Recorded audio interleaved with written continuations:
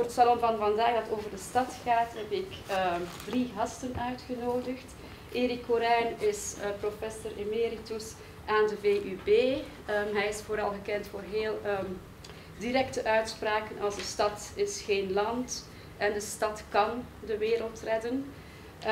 Tweede gast is Stijn Oosterling van de UA, professor aan de UA, ook een stadsspecialist. Hij stelt de vraag terug aan Corijn, ja, als de stad de wereld kan redden, um, waar haalt de stad dan haar middelen vandaan om die wereld te redden? Hij is ook um, gekend voor zijn wat niet-conventionele positie met betrekking tot sociale mix en het ideaal van sociale mix waar wij allemaal heel, uh, wat, we allemaal graag aanhangen. Um, en hij stelt dat ideaal in vraag. Is dit wel wenselijk? En dan hebben we Jeanne van Eeswijk uitgenodigd. Zij is een kunstenares, maar zij werkt niet met traditionele media of materie uh, waar we meteen aan denken als we denken aan kunst. Zij werkt, haar medium en haar materie is, is mensen. Um, zij maakt vooral participatieve projecten, langdurige projecten. Um, is heel gerenommeerd internationaal voor haar werk. Um, maar haar werken hebben natuurlijk niet diezelfde marktwaarde van spectaculaire uh, kunstenaars. Maar ik ben er vast van overtuigd dat haar werk een enorme uh, marktwaarde heeft. Vandaar dat ik haar er zeker bij wou hebben vandaag. Maar dan markt in een andere betekenis van het woord. Uh, zij probeert dus met mensen te werken in specifieke urbane contexten en in confrontatie met specifieke urbane problemen. Het resultaat is natuurlijk geen oplossing voor die problemen, maar het resultaat is wel vaak dat de mensen waar ze mee werkt er mondiger uitkomen, meer bewust van hun situatie en op dat, die manier ook weerbaarder en strijdvaardiger in hun specifieke confrontatie met die urbane problematiek waarin ze geworteld zijn. Um, de moderator voor vandaag is Werner Trio. Um, ik ben ook heel blij dat hij erbij is. En ik hoop dat jullie een uh, fijn salon zullen hebben. Moet ik zeggen Jeanne of uh, Jeanne van Heeswijk? Kunt u misschien al eerst even een korte toelichting geven bij die beelden? Um, nou, ik heb gewoon uh, een, compila oh, sorry. een, compilatie gemaakt van beelden uit de stad. Uh, beelden van mensen die op een of andere manier um, in wijken of in gebieden leven waar de druk van de wereld nogal oploopt. En uh, hoe ze daarin uh, eigenlijk op een heel creatieve manier proberen grip te krijgen op die situatie. Het zijn vaak ook gebieden waar de overheid faalt. En waar mensen eigenlijk zelf aan de slag moeten om uit te zoeken hoe ze met elkaar zouden willen samenleven. Hmm. En dat gaat niet altijd makkelijk. Nee, en u bent daar een actor in, hè? Dat, ja. dat is eigenlijk het, ja, het project van u als beeldend kunstenares, want ik moet u wel beeldend kunstenaar noemen, denk ik, hè? Uh, ja, zo ben, ja. Ik, zo ben ik opgeleid, ja. Mm -hmm. Goed, we zullen als, beeld, straks... als beeldhouwer zelfs. Beeldhouwer, ja. ja. Maar nu werkt u met levende mensen? Ik werk met het materiaal de stad. Het materiaal de stad. Er zijn heel veel manieren waarop je aan de stad kan kneden. Ja. Dus ik, ik zeg het wel eens, boetseren met de werkelijkheid, boetseren met de stad. Kneden aan de werkelijkheid. Zeer benieuwd. Erik Corijn, uh, professor emeritus, uh, sociale en culturele geografie, wereldberoemd in Vlaanderen. Uh, nu hebt u veel tijd, hè? Eindelijk onderzoek. Ja, er is niet zoveel veranderd eigenlijk. Toch niet? Nee, ik heb een, een kleiner bureau gekregen aan de VUB. En een kleiner loon. En ja, merkelijk kleiner loon. En uh, ja, minder, minder lesgeven aan de, aan de VUB zelf. Maar ja. ik vervang dat dan door uh, meer les te geven aan onze nieuwe stadsuniversiteit die we hebben opgericht, Brussels Academy. Prima, er is dus niks veranderd. Wat is sociale en culturele geografie eigenlijk? Wel, het is een, een deel van de. laten we zeggen, het, het gaat over de ruimtelijke ordening van het menselijk samenleven. Zonder te kneden? Wel, Als observator? In, in principe, uh, onderzoek houdt zich bezig met het, met het analyseren, het begrijpen, het inzichtelijk maken. en natuurlijk, aan het eind van, van het inzicht komt er toch wel enige interactie. Janne van Heeswijk, leest u wel eens boeken sociale en culturele geografie? Ja hoor, meestal voor ontbijt. Oké. Okay. Stijn Oosterlink, uh, een jonge prof zullen we maar zeggen. Hè? Stadssocioloog. In, in wel, wat, is precies, wat is het verschil tussen die twee uh, onderzoeksdomeinen? ik denk dat het verschil op zich niet zo groot is. Alleen is zijn onze universiteiten uh, gestructureerd in traditionele disciplines, sociologie, geografie en de socioloog heeft het dan over het samenleven en de geograaf over, over de ruimte. Um, nu is het zo dat de sociale geograaf niets meer aandacht hebben voor maatschappelijke processen in die, die ruimtelijke vraagstukken en de stadssocioloog iets meer aandacht voor de ruimtelijke dimensie van het samenleven. Dus eigenlijk zitten wij heel dicht op elkaar. Ik zou zeggen, alle twee aan de marges van ons vakgebied en daardoor dicht bij elkaar. Oké. We moeten hier de heikele vraag beantwoorden of uh, de stad de wereld kan redden. Uh, dan denk ik dat we eerst moeten weten wat een stad is. Ik weet niet, uh, kent u, Janne, kent u de stad Mezen? nee. Dat is, kennen jullie de stad Mezen? Ho weten jullie ook hoeveel inwoners de stad Mezen heeft? Zoals Zuid-Leeuw of zo is dat? 952, ja, dat is een stad in België. En je hebt anderzijds steden zoals Bombay en, uh, en Shanghai natuurlijk. Dus uh, wat, wat, is een stad? Laten we daar maar eens mee beginnen. Erik? Of uh, Stijn? Maakt niet uit. Wel, de klassieke, klassieke insteek van, van de sociale wetenschapper of de socioloog naar de stad toe is, is eigenlijk altijd een kritiek op hoe de, hoe de planner of de ontwerper de stad ziet. Hè. De planner en ontwerper werkt aan de fysieke gebouwde ruimte en die ziet de stad als een, als een is een verzameling gebouwen, dat is een dichte verzameling gebouwen. En waar de insteek van de socioloog of de sociale geograaf altijd is dat, die, dat niet alleen een verzameling gebouwen is, en dat misschien die dichte verzameling gebouwen ook niet de essentie is van wat de stad is, maar dat de stad in eerste instantie een soort gemeenschap is die zich een bepaalde identiteit aanmeet, waar ook bepaalde machtsprocessen spelen tussen verschillende groepen. Dus het zit altijd op die discussie, zit eigenlijk altijd op de, de, de strijd tussen het uh, fysieke ruimtelijke van een stad, morfologische van een stad, de vorm die die aanneemt, en dan het samenleven in die stad en de vraag mm -hmm. of dat die uh, samenleving in de stad een, een, specifieke vorm aanneemt of dat die verschilt van de samenleving buiten de stad.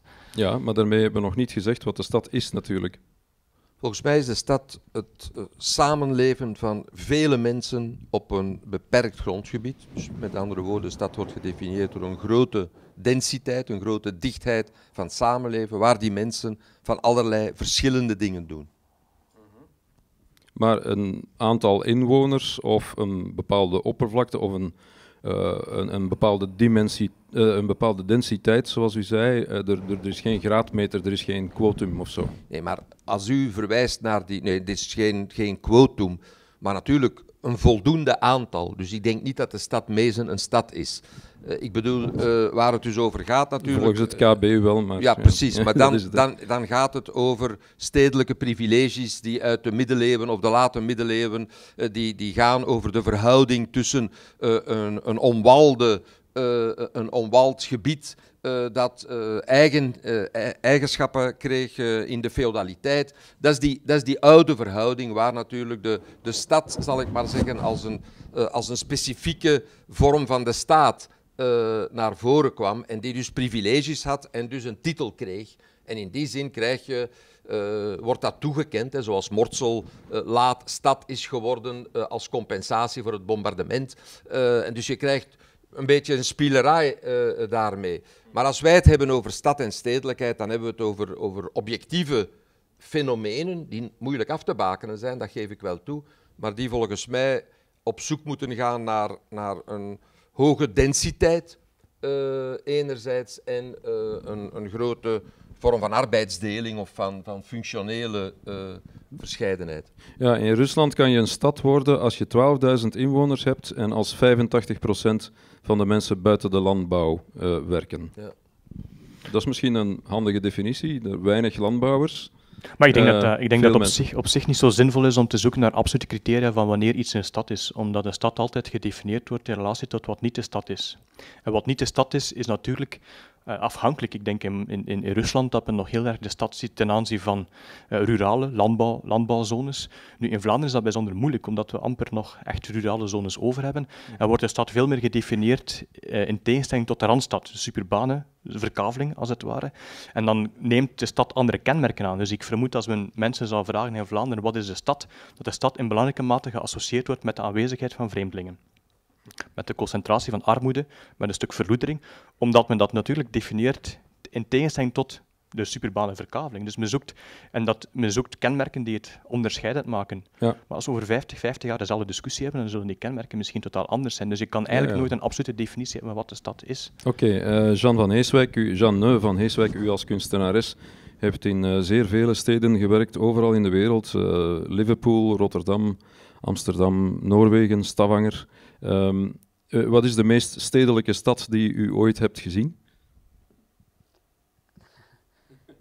Nou, ehm ingewerkt, want ik zie veel steden, maar in, Gewerkt. eh, Shanghai. Ja.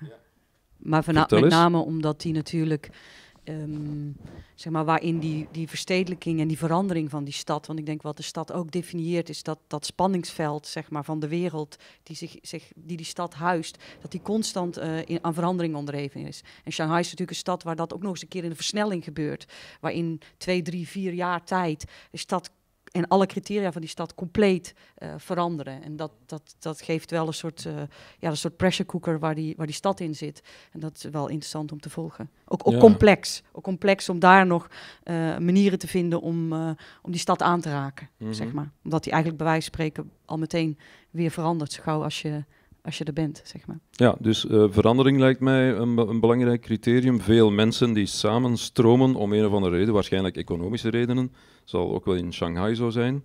Ja. Eh, en dat leidt dan tot een vorm van superdiversiteit, wordt dan gezegd. Ja. Of grote diversiteit. Eh, met name is China misschien wel een interessante testcase, omdat ja, daar een industriële revolutie pas begonnen is en waar dan veel mensen van op het land daar terechtkomen. Wat hebt u daar precies gedaan? Nou, we hebben daar voornamelijk gewerkt, eh, wat, met, eh, wat meestal met de onderliggende vraag is voor, voor de manier waarop ik dan de stad of een gebied benaderd, is. Hoe mensen, en met name de mensen die eigenlijk als laatste de stad binnenkomen, in dit geval veel migranten van uit het platteland, hoe zij zich verhouden tot die, eh, tot die ontwikkeling en, en hoe zij zichzelf zien in vijf jaar tijd. En ik vraag nooit naar wat is je droom of zo, weet je wel. Want het gaat me niet over van, eh, nou uiteindelijk wil ik wel ooit rijk worden. Maar als je mensen eigenlijk vraagt hoe ze zichzelf zien ehm, in de plek waar ze leven of in hun, hun, hun, wijk of, of in hun straat over vijf jaar. En wa- wat ze dan denken dat ze dan tegengekomen zijn of wat ze dan nodig hebben. En van daaruit vertrek ik vaak om manieren te vinden om eh, de zeggenschap van mensen over die specifieke plek, of dat nu de, hun wijk is of hun straat, om die te vergroten. Nou, dat hebben we ook in, in Shanghai gedaan. En wat is daar zoal uitgekomen dan? Nou, daar is met name eigenlijk uitgekomen dat heel veel eh, mensen eigenlijk ehm, een, een heel directe eh, vertaalslag zo- zoeken tussen ehm, enerzijds eh, ehm, geld verdienen. Letterlijk geld verdienen op straat. En anderzijds hoe ze zich hun toekomst definiëren. En het interessante in Shanghai is, of het ingewikkelde in Shanghai is, dat je als je niet in Shanghai geboren bent, als je geen Shangha Shanghainese bent, eh, door geboorte, dat je dus geen eh, burgerrechten hebt. Dus al die mensen die op straat werken aan die stad, die die stad bouwen, die, die, die de, de koffie eh, schenken, die de soep maken, de dumplingsoep, al die mensen die eigenlijk hun bouwen aan die stad, die kunnen nooit stadsrechten hebben. Dus dat is een heel raar, eigenlijk heel specifiek probleem daar. Dus Ja. er is eigenlijk nooit iets te, echt officieels te zeggen kunnen hebben over die stad. Dus ja, wat betekent dat over eigenlijk dat de groei en de verandering door de informaliteit gedragen wordt? Nou, daar ging dat project heel erg over. Ja. Wat is die informaliteit en wat is de waarde van die informaliteit voor de toekomst van de stad? Heeft iedereen die bij ons naar de stad komt, neem Antwerpen, we zullen Antwerpen maar een stad noemen, zeker Stijn? Ja? Dat mag.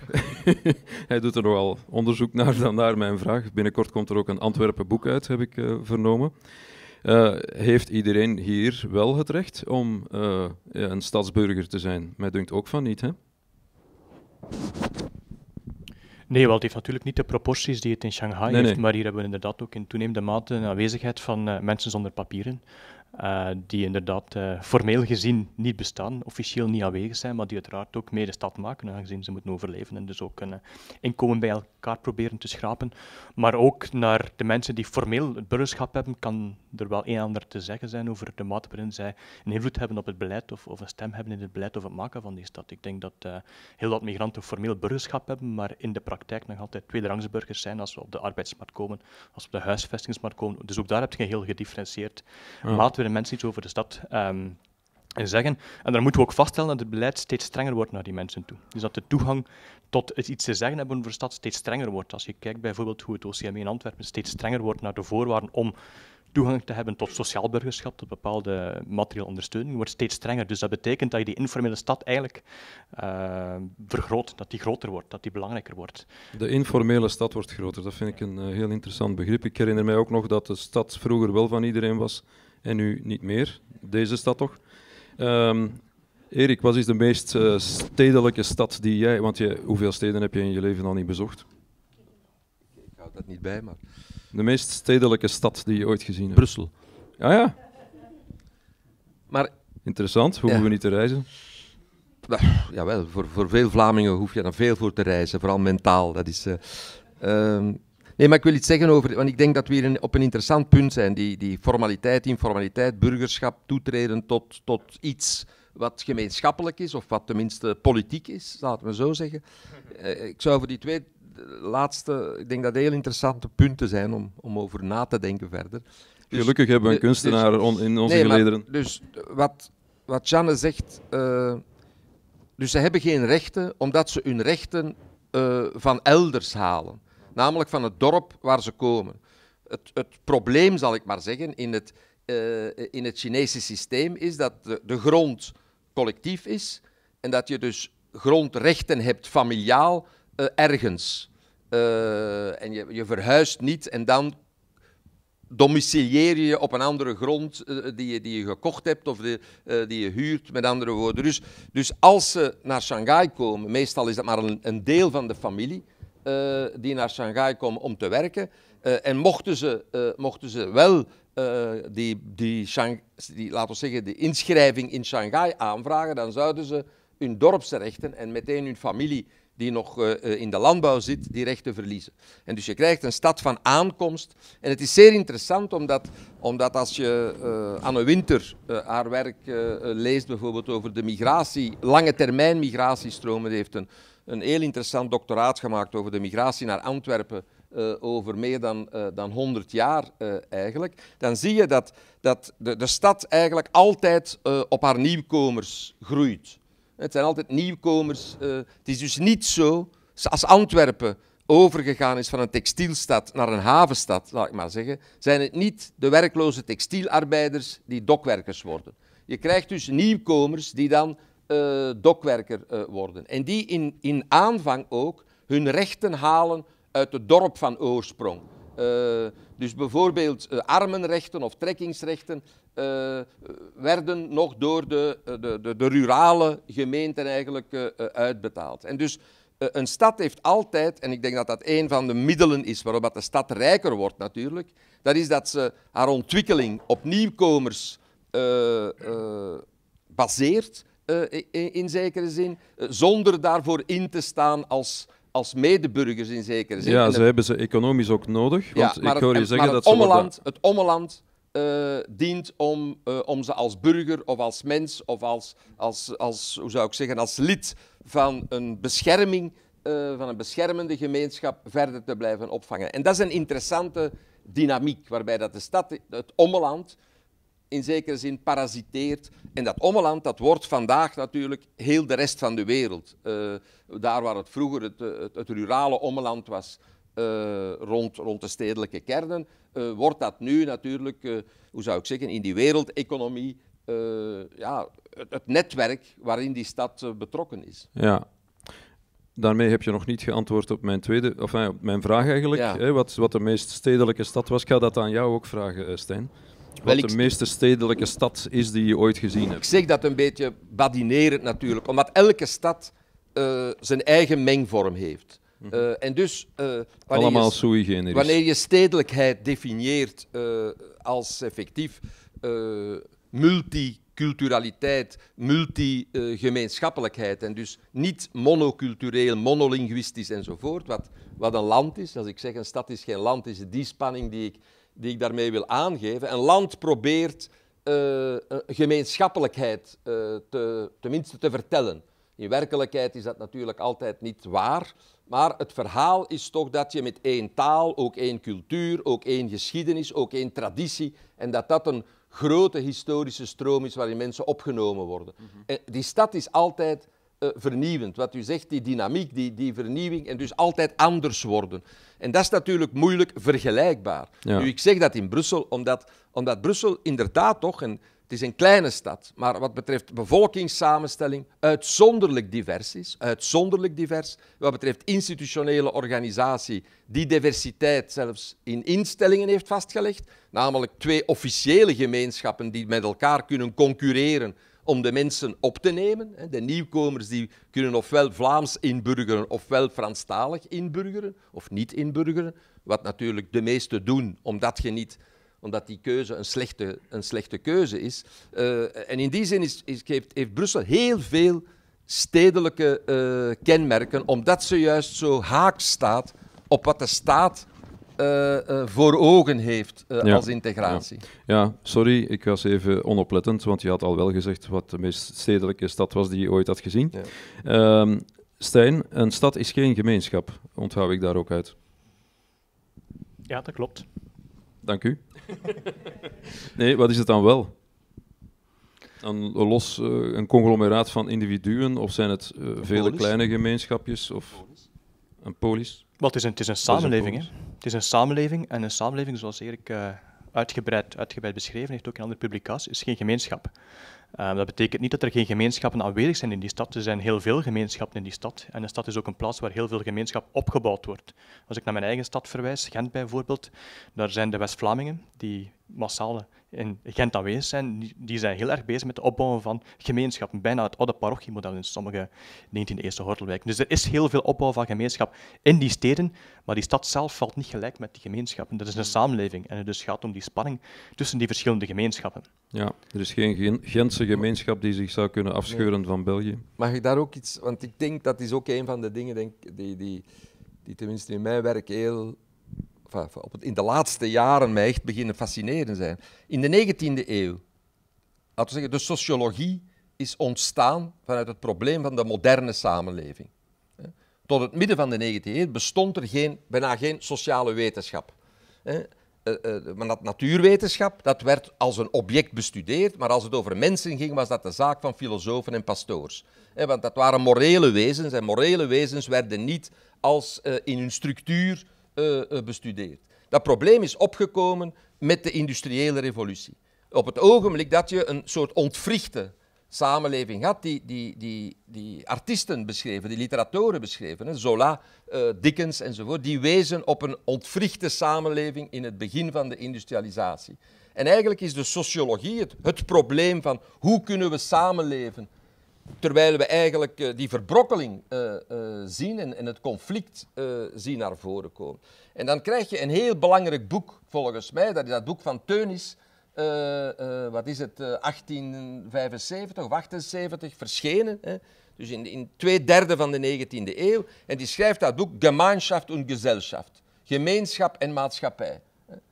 Communauté, société. En het is het boek, ik denk dat wij nog altijd die twee begrippen uh, hanteren wanneer we het over samenleven hebben. En wat staat in dat boek? Dat staat in dat boek, dat is dat uh, gemeenschapsvorming, en dat is de officiële Vlaamse theorie nog altijd. Wij moeten eerst gemeenschapsvorming doen en op basis van het toetreden tot de gemeenschap, van de gevormde gemeenschap, krijg je politieke rechten, maatschappelijke rechten, trekkingsrechten uh, op in, in de staat. En het is heel de nationale idee, hè? namelijk één volk, één natie, één staat. En dat is wat de 20e eeuw heeft, uh, heeft uh, vormgegeven. En in heel dat verhaal is de stad en de stedelijkheid een uitzondering. Mm -hmm. En, dus, ja. en, en ik denk dat dat spanningsveld, dat dat vandaag voor goed doorbroken is. Ja. Wij kunnen niet meer samenleven op basis van één gemeenschap. Ja, ik ga nog, nog eens naar het werk van uh, Janne van Heeswijk, uh, om misschien deze eerste ronde wat af te ronden. Uh, migratie, informele, het informele niveau van een stad hebben we er al kunnen uithalen, is, is eigenlijk vormgevend voor, voor die stad. niet de gemeenschap, maar binnen, als u dan werkt in zo'n stad, misschien moet u eens een voorbeeld geven, Slotervaart of zo? Slotervaart is een wijk van Amsterdam uh, die ik nog ken van uh, die meneer Marcouche, die daar eh, politioneel nogal is te werk gegaan. Een moeilijke wijk, zoals we dat noemen. is dat een gemeenschap, die, die, die, die Slotervaart? Hebt u daar met een gemeenschap gewerkt? Of hebt u er een gebouwd? Nou, ik denk um, omdat ik me zeg maar, meestal focus op de maat van een, een buurt, zeg maar. Uh, omdat ik denk dat als je het over nieuwe sociale vormen hebt of over nieuwe, uh, zelfs economische en politieke vormen, dan zou je kunnen zeggen dat de buurt eigenlijk de ideale schaal is. Omdat je daar heb je natuurlijk uh, vaak diverse gemeenschappen, maar er is nog wel de mogelijkheid, omdat de schaal waarschijnlijk uh, behapbaar is om tussen die verschillende gemeenschappen een vorm van samenhang te creëren. Ja. En, uh, alleen, Vertelt u eens wat u daar hebt gedaan in, in. Nou, daar, uh, overigens was meneer Maracouche toen nog buurtvader, dus dat is ook interessant. Uh, en wat is een buurtvader? Al, dat is al lang geleden. dus, um, nou, dat, dat, dat, dat was op een gegeven moment in, in dat gebied ging er nogal wat mis, zeg maar, met, um, met vooral jongeren uh, die uh, nou ja, uh, al dan niet crimineel of al dan niet gewoon op straat rondhingen of al dan niet wel of niet op school zaten. Um, was er nogal wat problemen rondom om, die, om dat gebied en ook over zeg maar, de wijze waarop sommige jongeren opgevoed werden. En op een gegeven moment werden daar buurtvaders in het leven geroepen die dan uh, eigenlijk een soort, ja, een soort controle, controlerende uh, functie hadden eigenlijk in die openbare ruimte. Dus eigenlijk een soort uh, publieke vaders. Uh, ik denk dat je ook publieke moeders nodig hebt, maar dat is weer wat anders. Uh, publieke mama's. Maar uh, uh, dat was daar heel erg aan de hand. Maar wat we eigenlijk met name daar gedaan hadden, was dat daar moest een nieuw. daar ging natuurlijk veel veranderen ook. Er moest een hoop gesloopt worden, moest een, hoop nieuw gebouwd worden. Maar de vraag was echt heel erg in die westelijke tuinsteden. En daar was Slotervaart een voorbeeld van. Van nou ja, hoe moet die groep, verschillende groepen mensen die daar leven, hoe moeten die nu samen verder in, in, die, in die toekomst? En, en hoe gaan ze zich tot elkaar verhouden? En een van de dingen die daar moest komen was een nieuw park. Uh, en uh, ik heb me toen heel actief bezig gehouden met de jongeren in dat gebied over, uh, nou, hoe moet zo'n park eruit zien? En hoe kan dat park eigenlijk opnieuw een publieke plek worden? Een publiek plein, een, publiek, een publieke omgeving, waar al die verschillende groepen op een of andere manier niet alleen gebruik van willen maken, maar daar ook willen verblijven en met elkaar proberen uit te zoeken hoe dat eruit moest zien. En dat was best een, een ingewikkelde reis, omdat nou ja, de ideeën over uh, hoe zo'n publieke plek eruit moet zijn, waren natuurlijk totaal verschillend. Wat voor de een uh, een goede openbare ruimte is of een goede publieke plek, is voor de andere een, een, een afgrijzelijk uh, gegeven. Dus we hebben daar nou ja, lang aan gebouwd, lang aan gewerkt. Ook behoorlijk actief eigenlijk stelling genomen, ook tegen de ideeën die de, uh, die de gemeente had over hoe dat eruit zou moeten zien. Ja, top-down, dat is de strijd tegen top-down beslissingen. Top-down beslissingen, maar ook um, onderzoek wat dan gedaan wordt in een gebied over wat dat gebied zogenaamd nodig zou hebben uh, om met elkaar te, te uh, verder te kunnen, die toch heel eenduidig ingezet worden. Ik zeg altijd, ik geef altijd als voorbeeld, het was daar echt gewoon dat in de masterplanning stond dat daar een tennisbaan moest komen, een uh, acht achtbaanse gravelbaan, tennisbaan. Nou, het, is een, het was een 98% Marokkaanse wijk. Ik weet nog dat ik toen vroeg van gaan jullie ook de eerste Marokkaanse tennisvereniging oprichten? Ik bedoel, hoe ziet er dat uit? En nu bleek dat men had inderdaad onderzoek gedaan en er werd heel vaak gepraat over tennis, met name door de moeders in het gebied. Maar die moeders bedoelden tafeltennis. Omdat dat was wat de jongeren heel graag deden op een oude betonnen tafel, was tafeltennissen. Dus ergens in het onderzoek is dat in een, in een plan voor een park in een, achtbaans tenniskoord terechtgekomen. Nou, dat zegt dus ook iets over van dat we misschien niet alleen uh, meer tijd moeten nemen uh, om dat soort vragen te stellen, maar misschien ook moeten leren beter te luisteren. Uh, en ook misschien beter te leren luisteren naar hoe mensen iets formuleren. En niet vanuit gaan dat je eigen ideeën over hoe de stad eruit zou moeten zien, dat, ja, dus als je het woord tennis hoort, daar dan maar meteen je eigen gevoel van een tenniskoord aanplakken. En uh, door dat werk, hè, door dat nadenken en, en, tekenen heb ik gezien ook, hè, want uh, de, u bent beeldend kunstenaar, dus uh, die mensen hebt u ook aan het tekenen gezet. Om, de, de ik kan zelf al niet tekenen hoor. Maar, nee, nee beeldhouden wel. Um, goed, maar hebt u daarmee het gevoel dat u dan toch in die wijk met zijn vele gemeenschappen ook een soort gemeenschap hebt kunnen creëren rond zo'n project? Ja, ik denk dat dat heel langzaam gaat. Want het is juist door die discussies en door die, uh, ehm, door die confrontaties en over die verschillen. En, en je ziet ook als mensen zelf aan de slag gaan, als ze zelf eigenlijk uh, mede bepalend worden over hoe iets eruit ziet, dan moeten ze zelf ook gaan onderhandelen. Kijk, in het begin zegt iedereen, ja, ik wilde wel een nieuwe uh, zwembad, ik wil dit en ik wil dat en ik wil zus en wil zo. Maar als je dan een budget beschikbaar hebt en een tijdsframe, dan moeten mensen zelf gaan zeggen, ja, dan moet je keuzes gaan maken. En als mensen keuzes moeten gaan maken, moeten ze gaan onderhandelen. En dan gaan ze onderhandelen met elkaar. En dan krijg je een ander soort gesprek. En dat gaat niet altijd makkelijk, maar in ieder geval kom je dan tot een tijdelijke keuzes, zou je kunnen zeggen, of tijdelijke verankeringen, die in ieder geval meer gedragen worden door een diverse groep mensen. Ja, en dan gaat de, de witte man ook wel eens een theetje drinken bij de bebaarde buurman. Nou, het is niet allemaal over halleluja. Die stad is niet over.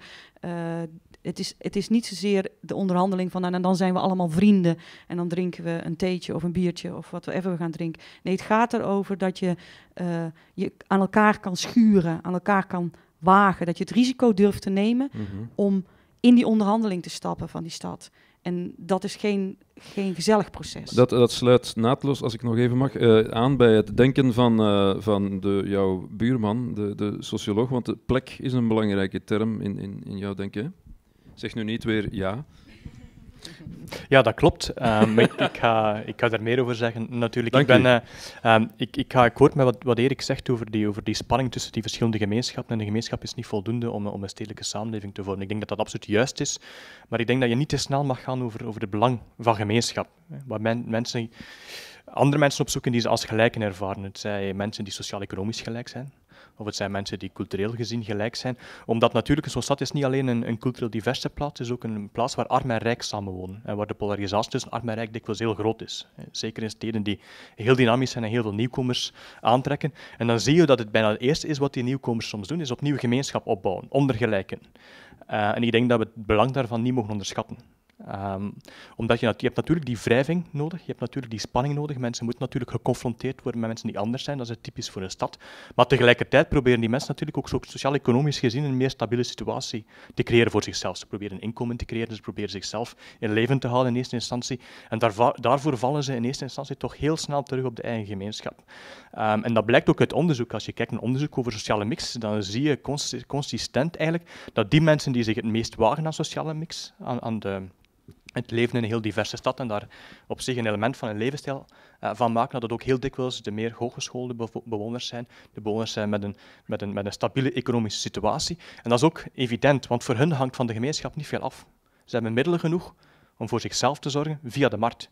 Maar mensen die in armoede leven, die, die hebben dikwijls die gemeenschapsrelaties nodig, omdat ze eigenlijk niet kunnen terugvallen op die markt. Ze hebben nu te weinig kapitaal. Dus uh, vanuit dat perspectief begrijp ik ook dat die mensen aan gemeenschapsopbouw doen.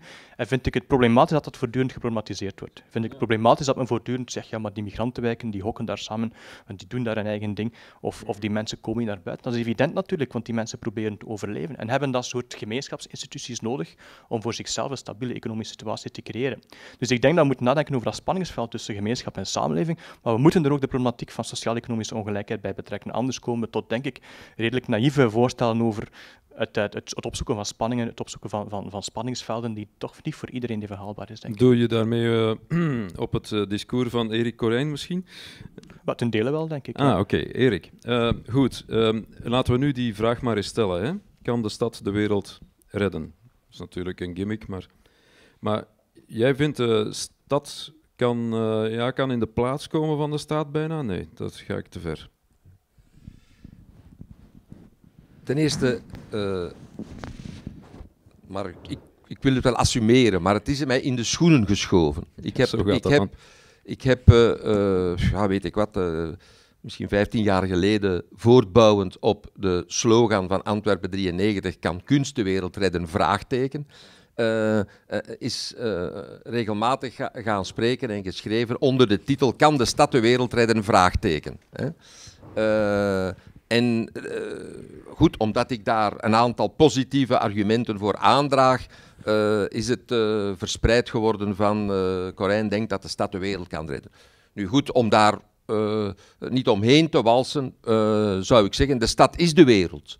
Dus als de wereld ergens moet gered worden, dan is het in de stad.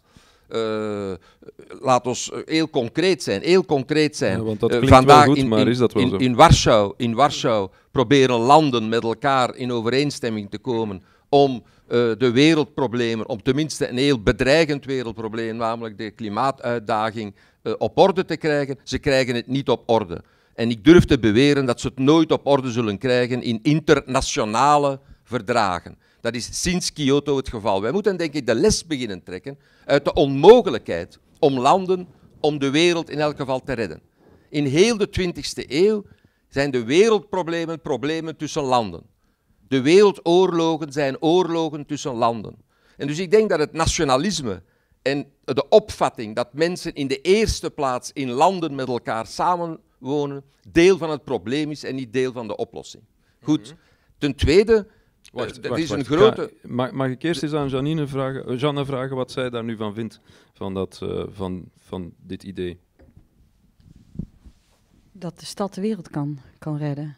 Nou, ik denk wel, dat heb ik ook al... Dat de stad de wereld is. Dat de stad de wereld is, ja. Nou, ik denk wel inderdaad dat... Um, nou ja, zoals ik het zelf zou formuleren, dat juist uh, in die stad uh, je uh, gebieden hebt. En ik zou, ik zou zelf de schaal iets kleiner maken, zei ik al eerder. Dat je daar misschien wel een ideale uh, grond hebt waarin je op zoek kan gaan naar nieuwe sociale, maatschappelijke, maar ook economische vormen.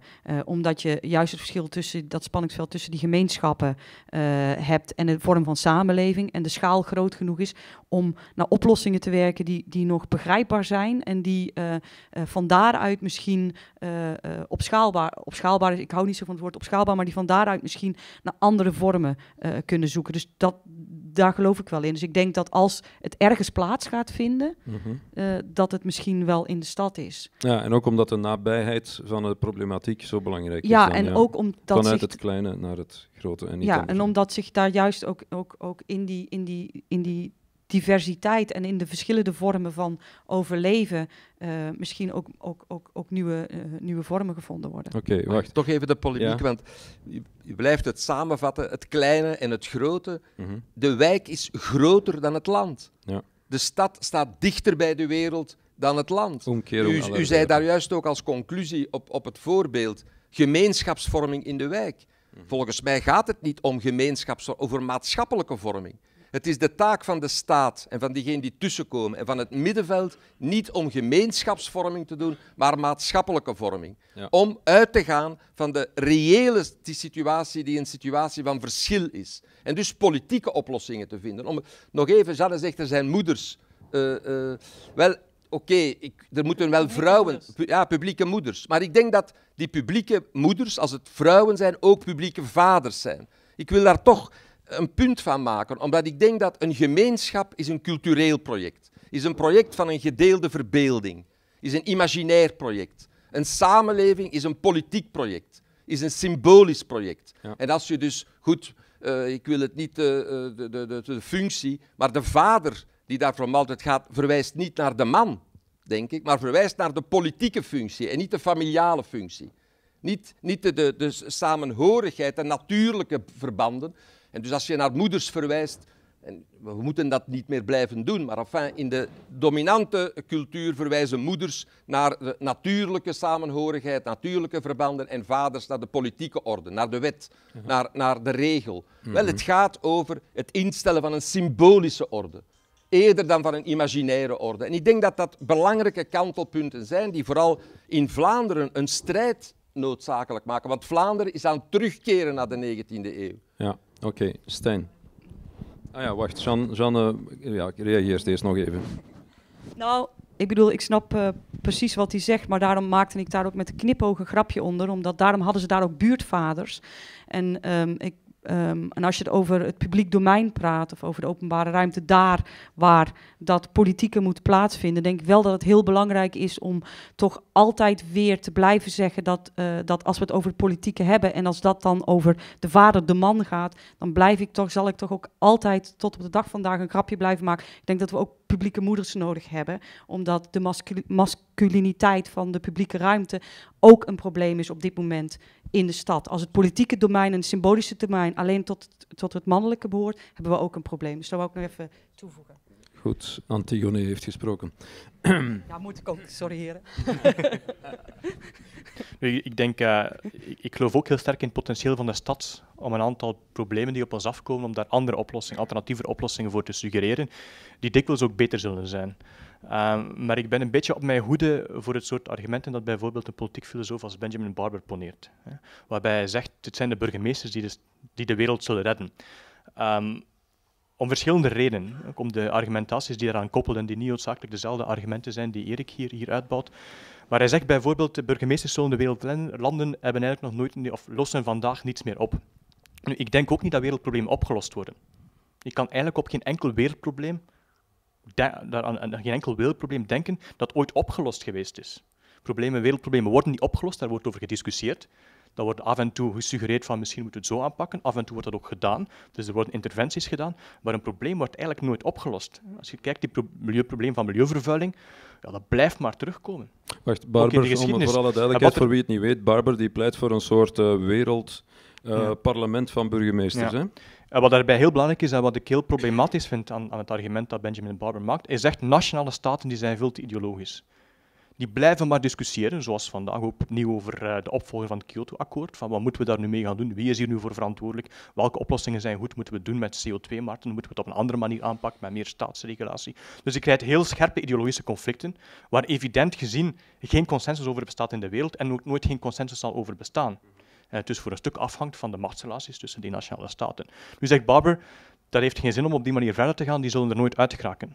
Dus moeten we naar burgemeesters gaan kijken die veel die veel pragmatischer zijn, omdat ze onmiddellijk met die problemen geconfronteerd worden. Bijvoorbeeld met klimaatvluchtelingen, bijvoorbeeld met uh, uh, bijvoorbeeld bepaalde natuurrampen die problemen creëren, die overstroming creëren enzovoort. Nu, ik denk dat dat een misvatting is. Burgemeesters zijn inderdaad op bepaalde vlakken pragmatischer. Niet altijd. Kijk naar de burger, het stadsbestuur in deze stad is niet, niet bepaald pragmatischer, dat is heel ideologisch, dat is ook niet zo noodzakelijk problematisch. Maar het idee dat een pragmatische aanpak altijd beter is, dat vind ik ook een probleem. Het is niet zo dat die ideologische tegenstellingen over bijvoorbeeld hoe we klimaatopwarming moeten aanpakken, dat we die gewoon aan de kant kunnen schuiven en zeggen we gaan op basis op niveau van de stad gaan we pragmatische oplossingen treffen. Bijvoorbeeld door een, fietsdeelsysteem uit te werken, bijvoorbeeld door meer energiezuinige woningen te plannen enzovoort. Ik bedoel, dat kan allemaal, maar dat gaat de, de ideologische tegenstellingen over de grote aanpak van dat grote probleem niet aan de kant schuiven, niet oplossen. Dus in die zin volgt dat argument helemaal niet. Er is heel veel potentieel in de stad, maar die ideologische tegenstelling kan je ook op het niveau van de stad niet vermijden. Erik? Wel, ik ben het daar niet mee oneens. Maar enfin, ik zou daar dan. Waarom zou de ideologie, zoals ze georganiseerd is in nazistaten, het beste politieke platform zijn? Ik ben voor ideologische keuze, ideologische discussie. Maar ik denk dat het feit dat de politiek, dat dat gedurende 150 jaar geordend is, land per land, en zeer sterk uh, door, door, door media uh, door reproductiesystemen, door scholen enzovoort, zo geïnstitutionaliseerd is, nu vandaag deel van het probleem is. En dat de, dat de zeker na het einde van de grote verhalen waar ideologieën nog transnationaal waren, dat is vandaag zelfs minder het geval. Dus oké, ja aan de ideologie. Een stad is niet, al, is niet onideologisch, maar organiseert blijkbaar ideologieën op een andere manier. En ik denk inderdaad dat het feit dat partijen, uh, dat partijen georganiseerd zijn op landelijke basis, met landelijke parlementen, en dat de, de, dat de, de lokale afdelingen zich zouden moeten gedragen als lokale afdelingen, dat dat een problematische orde is. En dus oké, eh, direct tegen Barber zeggen, ja maar hij heeft toch geen wereldparlement. Wat is er tegen om naast de UNO, dat een parlement van regeringsleiders is, om een parlement te hebben op wereldvlak uh, waar de grote steden in zitten? Wat is daar tegen? Wat is er tegen om naast een Kyoto-akkoord dat niet wordt uitgevoerd, Agenda 21-netwerken uh, te hebben, uh, waar steden zich committeren uh, aan een bepaalde klimaatoplossing? Wat is daar tegen? En dus goed, ik zal mijn energie eerder besteden aan stedennetwerken, aan Agenda 21, dan te denken dat het uh, zich zal afspelen op die internationale... Oké, okay, dus dat uh, klimaat, uh, ik denk wel dat wij dat hier allemaal wel zien, min of meer. Maar wat voor andere problematieken zou je nog kunnen toewijzen dan aan zo'n stedenparlement? Even arbeidsmarkt. Out, arbeidsmarkt. arbeidsmarkt. Dus de, de arbeidsmarkt wordt nu nationaal geregeld of niet geregeld. En dus eigenlijk wordt ze overgelaten aan een neoliberale uh, marktideologie, omdat het niet meer te regelen is land per land. Alleen de grote landen, of op, op Europees vlak, mocht men dat willen, maar landen willen dat duidelijk niet. Mocht men dat willen, zou dat op, uh, door de EU kunnen worden geregeld en sociaal worden beperkt. Maar in de stad krijg je natuurlijk de concrete, de concrete effecten uh, van de deregulering die de staten voeren. En de staten lossen dat niet op. Kijk maar naar de OCMW-problematiek uh, in de stad. Dus ja. met andere woorden, als arbeidsmarktregulering betekent solidariteit stellen tegenover mm-hmm. uitbuiting. Stijn, als ik het goed heb, is het niet zo dat Europa ook meer en meer wil delegeren naar de steden, juist dus uh, dat Eriks droom aan het uitkomen is? Dat, is een, dat is een algemene tendens, hè, dat men wil delegeren naar, naar lagere niveaus. Ah, ja. Maar ik denk dat je daar een heel belangrijk onderscheid moet in maken. Want die kritiek op de centrale staat is een oude kritiek natuurlijk. Hè. Dat is een kritiek die minstens teruggaat op de democratiseringsbeweging van eind jaren 60. Dus van ver voor mijn tijd. Dat is meer Erik, uh, Erik zijn, zijn, zijn, zijn geschiedenis. En dat men toen eigenlijk gezegd heeft van die nationale staten, die centraliseren alles, die, die proberen alles top-down op te lossen, autoritair op te lossen. Dat is niet meer van deze wereld. Mijn burgers moeten daar een actieve rol in kunnen spelen. En zo'n lokale bestuur is staan dichter bij de burger, dus je moet die daar ook een grotere rol, een grotere bevoegdheid in laten spelen. Dat argument is uiteraard vandaag heel populair. Alleen wordt het vandaag in een totaal andere context toegepast. Dat is de context van de deregulering, eh, van de besparing op de overheid enzovoort, waarbij die delegatie van taken en verantwoordelijkheid naar de lokale niveaus ook gepaard gaat met een besparingsoperatie. En men zegt dus niet van kijk, hier heb je een aantal bevoegdheden en een aantal verantwoordelijkheden, maak daar nu het beste van, want begeef de middelen niet mee. Dus men houdt de middelen, of men bespaart de middelen op het hogere niveau, en het lagere niveau moet je dan maar oplossen. Dat is natuurlijk een, een, een vorm van decentralisatie die, die, problematisch is, omdat je natuurlijk als je problemen wilt oplossen en aanpakken, heb je ook middelen nodig. En als die middelen niet meekomen, dan kan je daar natuurlijk niet veel mee gaan doen. Dat is een vals geschenk, bij wijze van spreken. Dat is een, dat is een kat in de zak dat je krijgt. Ja, Janne, hebt u dat uh, gezien zo in de praktijk? Uh... Nou ja, dat is natuurlijk wel iets wat... Uh, wat heel erg speelt. Um, ik, ik in, in Engeland natuurlijk de Big Society. In Nederland praat men over de participatiesamenleving. Um, dat is natuurlijk een groot probleem. Ik bedoel, ik denk wel, zeg maar, ik werk zelf heel actief bijvoorbeeld in, in Rotterdam-Zuid en in de Afrikanenwijk. Om een, we hebben daar een wijkcoöperatie opgericht om vormen van zelfbestuur en, uh, en vormen van zelforganisatie rondom arbeid, uh, participatie en dat soort dingen, solidariteit te organiseren. Maar ik ben het geheel en al eens. Uh, um, met, uh, met, met uh, sorry, Stijn, uh, dat als, als het een manier is waarop de overheid eigenlijk gewoon zijn handen van dingen aftrekt en als er geen middelen voor beschikbaar komen, dan is het natuurlijk gewoon een, een loos geschenk of, of dan, dan heb je er natuurlijk niets aan. Wat, wat wederom niet, uh, niet betekent dat ik denk dat het heel belangrijk is dat uh, vormen van zelforganisatie uh, rondom hele specifieke gebieden, dat die absoluut heel belangrijk zijn dat die gebeuren. Maar inderdaad, daar moeten ook de middelen voor beschikbaar zijn. Daar moeten ook de mogelijkheden zijn voor mensen om cap capaciteit te ontwikkelen en, en, en, en, dat soort dingen. En anders, anders is het alleen nog, nog verdere afkalving en wordt het verschil alleen nog maar groter. Ja, Stijn? Ja, ik denk dat het, het, het, probleem van de middelen, van de financiële en andere middelen die, die mensen nodig hebben om aan, aan problemen het hoofd te bieden, dat dat cruciaal is om te begrijpen waarom ik denk dat je in die discussie over wat kan de stad, wat vermag een nationale staat, om daar toch een voorzichtige positie in te nemen.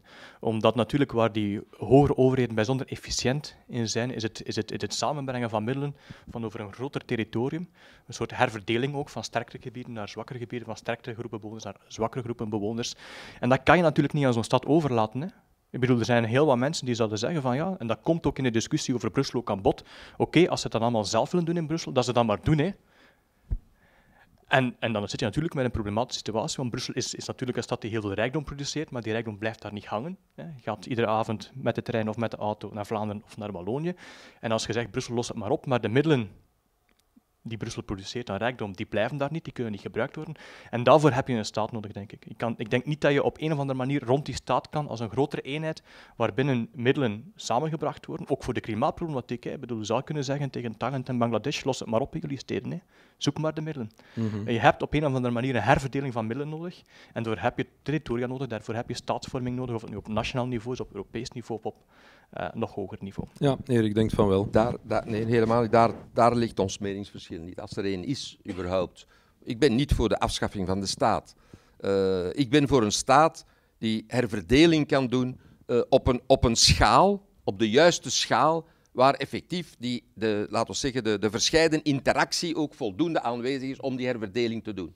En dus ik denk dat, dat, dat de Europese Unie de dichtstbijgelegen schaal is om, om, wat er reëel, om wat er reëel aan interactie gebeurt, aan, aan, uh, om, om dat sociaal te kunnen reguleren. Ik geef één concreet voorbeeld. In België is het vandaag onmogelijk om over de arbeidstijd wettelijk uh, te reguleren.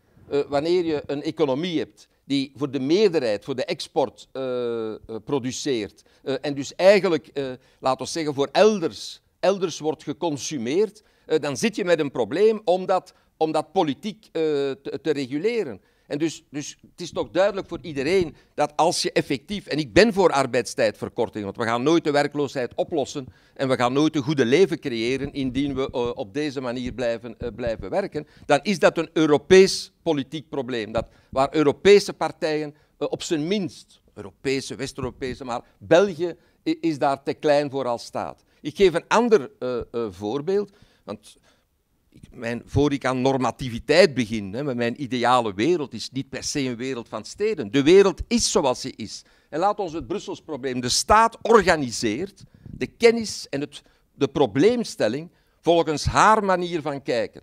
En haar manier van kijken hier in België is dat Brussel 19 gemeenten is, terwijl Brussel in werkelijkheid 65 gemeenten is. En in, in een dergelijke statistiek, statistiek hè, krijg je dus natuurlijk 22% werkloosheid. Krijg je 710.000 werkplaatsen waarbij de meerderheid ingenomen is door niet-Brusselaars, die elders belastingen betalen. En dus het systeem, dus als ik zeg herverdeling, als Brussel inderdaad een staatsvorm of een organisatie zou krijgen die met de werkelijkheid overeenstemt, dan, lossen we, dan zullen we de problemen inderdaad zelf oplossen. Dus als, groot als oude Brabant, als dat het herverdelingsmechanisme wordt, zullen we performanter zijn dan de andere uh, gewesten. Natuurlijk geven de andere gewesten hun twee rijkste provincies niet af aan Brussel. Maar eigenlijk komen ze werken in het buitenland, eh, zijn ze grensarbeiders en komen ze, uh, betalen ze alleen bijdragen uh, in, hun, in hun voorstedelijke organisatie. Ik geef een ander voorbeeld. 110.000 werklozen in de statistieken.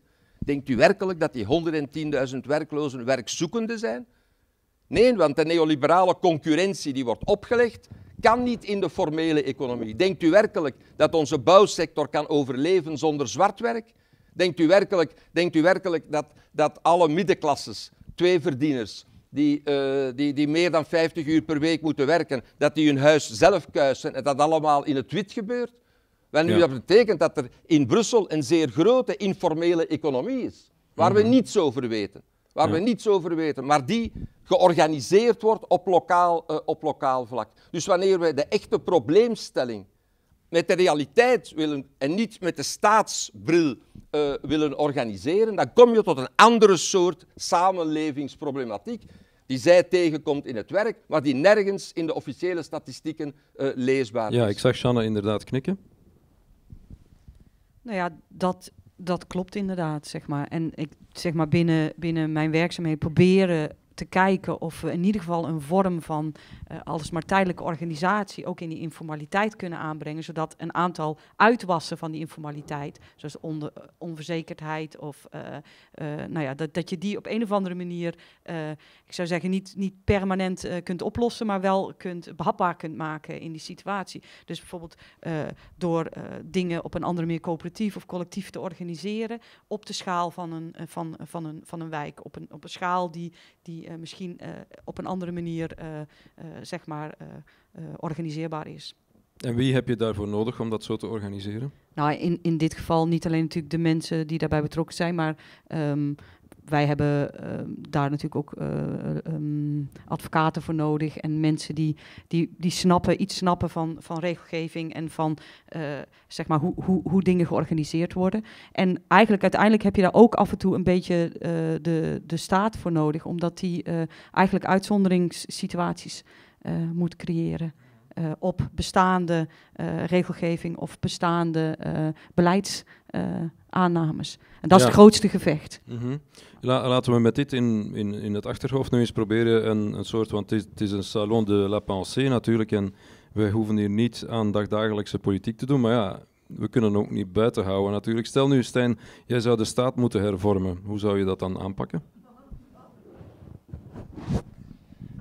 Ja, ik had je dat misschien gisteren moeten laten weten. Maar... Ja, dat is, is, maar ik, ik, ik denk dat een, uh, ik denk wat, wat gebeurd is, waar, ik, waar ik volledig volg wat, wat Erik ook, uh, ook aangeeft. Zo'n parlement van uh, burgemeesters, uiteraard, dat zou inderdaad een goed idee zijn. Maar als je kijkt wat er gebeurd is, dan zitten we eigenlijk de, de, de laatste decennia na de, de, de decennia na de Tweede Wereldoorlog, is er eigenlijk een evidentie ontstaan een evidentie dat ieder probleem die zich stelt een nationaal probleem is. Is er een probleem met de arbeidsmarkt, met de economische ontwikkeling, dan, gaat het, dan moeten we die nationale economische ontwikkeling opnieuw op gang krijgen. Is er een probleem met de arbeidsmarkt, dat is een nationaal probleem. En dat, die evidentie is uiteraard de laatste 20, 30 jaar ondergraven geworden. Waarbij men zowel een aantal grote wereldproblemen krijgt, wereldproblemen waar men van, duidelijk van ziet, van die overstijgende geld, milieuvervuiling bijvoorbeeld, dat kan je niet meer zomaar op nationaal vlak. En dan probeert men daar een mouw aan te passen, internationaal, tussen landen, daar een overeenkomst om te vinden. Maar tegelijkertijd zien we ook onder die, onder die nationale staat een aantal problemen ontstaan, die eigenlijk ook wereldproblemen zijn. Dat is de wereld die zich in de stad uit. Langdurige werkloosheid onder migrantenjongeren of laaggeschoolde jongeren bijvoorbeeld. Dat is uiteindelijk ook een wereldprobleem, maar dat uit zich heel sterk op niveau van de stad. Waar de nationale staat met haar welvaartsstaat, haar, haar, haar herverdelend regime, activeringsbeleid eigenlijk niet aangeraakt. We hebben 10, 15 jaar activeringsbeleid gekend. Vandaag stellen mijn collega's van het Centrum voor Sociaal Beleid vast dat die activering niet meer jobs creëert, een hogere werkgelegenheidsgraad creëert, maar niet bij die mensen die het meest nodig hebben. Maar wel bij eens uh, éénverdieners die plots tweeverdieners worden. Met andere woorden, die nationale staat slaagt er niet in om met haar, met haar, met haar kathedraal van de welvaartsstaat, om in die, um, in die, vooral in die steden, in die meest, uh, meest um, gedepriveerde eh, delen van de stad oplossingen te gaan voorzien. Dus dat betekent dat we vandaag discussies krijgen, en in Vlaanderen en in België hebben die discussies, maar die worden heel sterk verengd tussen een Vlaanderen-Belgische discussie, wat eigenlijk twee concurrerende natiestaatprojecten zijn, en niet een regio versus een staat, maar een, maar een staat versus een ander staatsproject. Er zijn eigenlijk... natuurlijk goede historische redenen voor, maar... Ja, maar de, ja, de geschiedenis is natuurlijk de geschiedenis. Hè. En de toekomst is de toekomst. Um, nu, ik denk wat dat betekent is dat we eerst de vraag moeten stellen op, op welk, dat is natuurlijk de vraag die we hier vandaag discussiëren, op welk niveau kunnen we de problemen het best oplossen? En dat is een vraag die open staat. Dat is niet meer noodzakelijkerwijs de nationale staat, dat kan ook het stedelijk niveau zijn, dat kan het Europees niveau zijn. Nu, als we het hebben over staatshervorming, en dat is het drama van het Belgische debat, dat is een, dat is een debat dat eigenlijk compleet 19e eeuw is, dat is een debat tussen twee concurrerende natiestaten die, allemaal, die eigenlijk alle twee op dezelfde manier de zaken willen aanpakken. Alleen de ene met 5, 5 miljoen inwoners en de andere met 10 miljoen inwoners. Maar niet helemaal dezelfde manier, hè? Het is voor een groot deel een 19e, 19e eeuwse discussie over twee concurrerende natiestaatsprojecten. En dus wat we moeten doen als we het over staatshervorming hebben, dat is de Europese discussie voeren. Dus dat betekent dat we de Europese verkiezingen ernstig nemen, als verkiezingen die minstens even belangrijk zijn als de nationale verkiezingen, en eigenlijk nog belangrijker als we zien hoeveel wetgeving vanuit Europa komt. Dus dat betekent ook dat Europees organiseren met Europese politieke partijen, met een verminderde rol voor de Raad van Europa, want dat zijn de, natie, de natiestaat die daar een belangrijke rol speelt, maar tegelijkertijd ook die stedelijke, uh, die, die gemeenteraadsverkiezingen, om daar ook echt stedelijke die, de, verkiezingen van te maken. Niet gewoon de gemeenteraadsverkiezingen, waar dat je lokale personen uh, verkiest, maar ook echt stadsdebatten, stadsverkiezingen, waar je nagaat van wat kan de stad nu gaan doen. Dat dus dat betekent dat je, het einde van de particratie voor een deel zal dat het einde zijn van de particratie. Zal het niet evident zijn dat een burgemeester dat dat een, een soort uitloopbaan is voor iemand die de nationale politiek vaarwel gezegd heeft, of niet noodzakelijk een opstartbaan voor wie later de nationale politiek aan de slag gaat gaan. Dat dus een staatshervorming dat zal een hervorming zijn die zich vooral op Europa en op stedelijk niveau focust en veel minder op twee concurrerende natiestaatprojecten. Erik is er mee eens. Ja, daar ben ik het mee eens. Ik denk, en ik, ik, er zijn zeer concrete uh, gevolgen, zelfs op het niveau van het Vlaams gewest. Want als je dus echt zeer concreet wilt voortdenken.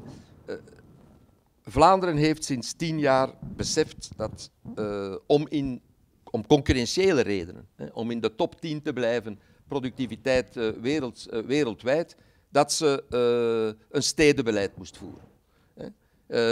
en dat betekent dus, dat, wat betekent dat concreet? Dat betekent concreet dat de staat of het gewest beslist heeft dat voor bepaalde, dat bepaalde geldstromen alleen trekkingsrechten geeft aan steden, aan grote steden.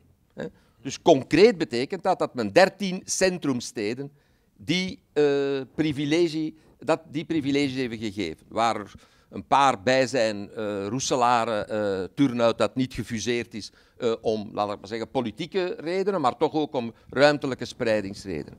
En nu, wat is het probleem? Dat heeft, dat heeft denk ik een ontwikkeling gegeven, een zekere dynamiek gegeven. Ik ben daar genuanceerd en kritisch, maar positief overgesteld. In de laatste 13, 15 jaar is er in Vlaanderen veel vooruitgang in de centrumsteden uh, verwezenlijkt. Wat is het probleem? Het probleem is dat die centrumsteden nog altijd gemeenten zijn en geen stadsgewesten. Dat die, dat die centrumsteden, dat dat, dat dat het stadsbestuur is en dat die zelf maar met hun ommeland, met hun randgemeenten moeten overeenkomen. Wel nu, dat probleem, je gaat de Oosterweelverbeelding in Antwerpen niet oplossen wanneer je het als een Antwerps-Vlaams probleem uh, ziet, zonder dat de stadsrand uh, in de ruimtelijke ordening betrokken wordt. Je gaat, je gaat Gent uh, niet verder laten ontwikkelen indien er geen huisvestingsbeleid kan gevoerd worden dat buiten de gemeente Gent gaat. Je gaat Brussel uh, niet oplossen zonder uit het karkant te treden uh, van de 19 gemeenten. En ja, zo. Met andere woorden, de stadsgewestelijke idee moet een beleidseenheid uh, worden. Janna, hoe ver staat dat in Nederland, dat stadsgewestelijke idee? En heb je dat in andere buitenlanden, voor ons is Nederland buitenland, andere buitenlanden ook gezien? Ik moet, uh, moet heel eerlijk zeggen dat ik dat niet zo heel duidelijk meet. Wat je op het moment in, in, in ieder geval in, uh, in Nederland heel erg ziet, is dat je een centralisering krijgt. Je had heel veel steden zoals Rotterdam en Amsterdam, die hadden deelgemeentes en uh, deelraden. En dat, je, dat die op dit moment opgeheven worden ten behoeve van zeg maar, meer gecentraliseerde stad.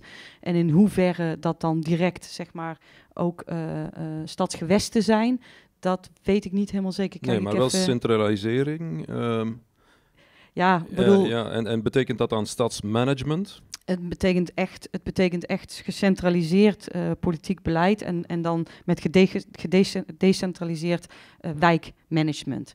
Dus in plaats van, van politieke deelraden die we eerst hadden, krijgen we nu wijkmanagers.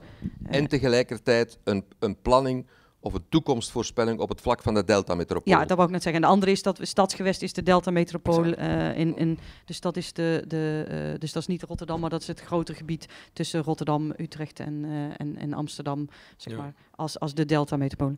Hè? Ja, precies. Ja. ja.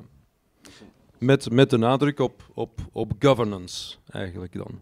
Nou ja, Goed kijk, bestuur. ik bedoel, daar, daar, daar, daar zie ik wel een bepaalde manier een probleem. Met name, uh, zeg maar, enerzijds kan je zeggen dat veel van die deelraden, uh, zoals in Rotterdam, de deelgemeentes, dat die vaak toch wel een heel erg lokaal uh, politiek bestuur hadden, waar, waar niet altijd het, het, beste, zeg maar, uit voortkwam. Tegelijkertijd, als je kijkt naar bijvoorbeeld Rotterdam en bijvoorbeeld het verschil tussen een Rotterdam-Zuid en, en een centrum en, en, en de manier van hoe daar eventueel nagedacht kan worden over ontwikkelingen, dan denk ik als dat alleen maar straks decentraal gemanaged wordt, zie, zie ik ook nog wel wat uh, problemen, omdat, uh, uh, omdat sommige zeg maar van de problematieken die bijvoorbeeld in de Afrikanenwijk of in Feyenoord spelen, ook behoefte hebben aan een, aan een, aan een, aan een zeg maar, um, misschien wel niet, niet alleen maar aan een managementstructuur. Mm -hmm. dus. de, de, vraag is natuurlijk ook, en dat is, een, dat is echt een ideologische vraag, wat mag de overheid nog managen en waar moet de overheid zijn handen afhouden. Ja. En daar heb je toch in de laatste dertig jaar een verschuiving die ik helemaal niet deel. Ik denk dat de overheid ook de economie zou moeten mogen managen. Ik denk dat de overheid ook distributie uh, zou moeten mogen managen. Als je natuurlijk de dominante idee hebt van de economie moet buiten de overheid en buiten de politiek blijven en mag niet gemanaged worden, en dan mag de overheid alleen de sociale, uh, het sociaal debakkelen uh, van die economie uh, oplossen, mm-hmm. dan heb je natuurlijk een verke verkeerde opvatting over wat er gemanaged mag worden. Ja. Want natuurlijk is het de economie die de ongelijkheid produceert mm-hmm. en die de ongelijkheid nodig heeft om effectief het geld en, en, de winst te kunnen blijven produceren. En dus dat is een debat dat we ook zullen moeten voeren. Ja. En dat we, dat we, als ik even mag, makkelijker in de stad kunnen voeren opnieuw dan in het land. Want in de stad heb je de arme wijken en de centrale functies samen. En zijn zelfs de rijken, kunnen de rijken eerder onder druk zetten van als ze niet investeren in die buurten, dan krijg je opstanden en dan kunnen ze niet rustig gaan winkelen. dus ik bedoel, dat soort conflict in de stad is zeer voelbaar aanwezig, mhm. terwijl je in het land een soort visie kunt hebben van daar, uh, daar zijn de arbeidersbuurten, daar sturen politie naartoe uh, uh, en daar heb je onze residentiële gated communities op de andere manier. In de stad ligt dat dichter bij elkaar en heb je dus een ander soort debat. Ik zag toch uh, Stijn bedenkingen hebben.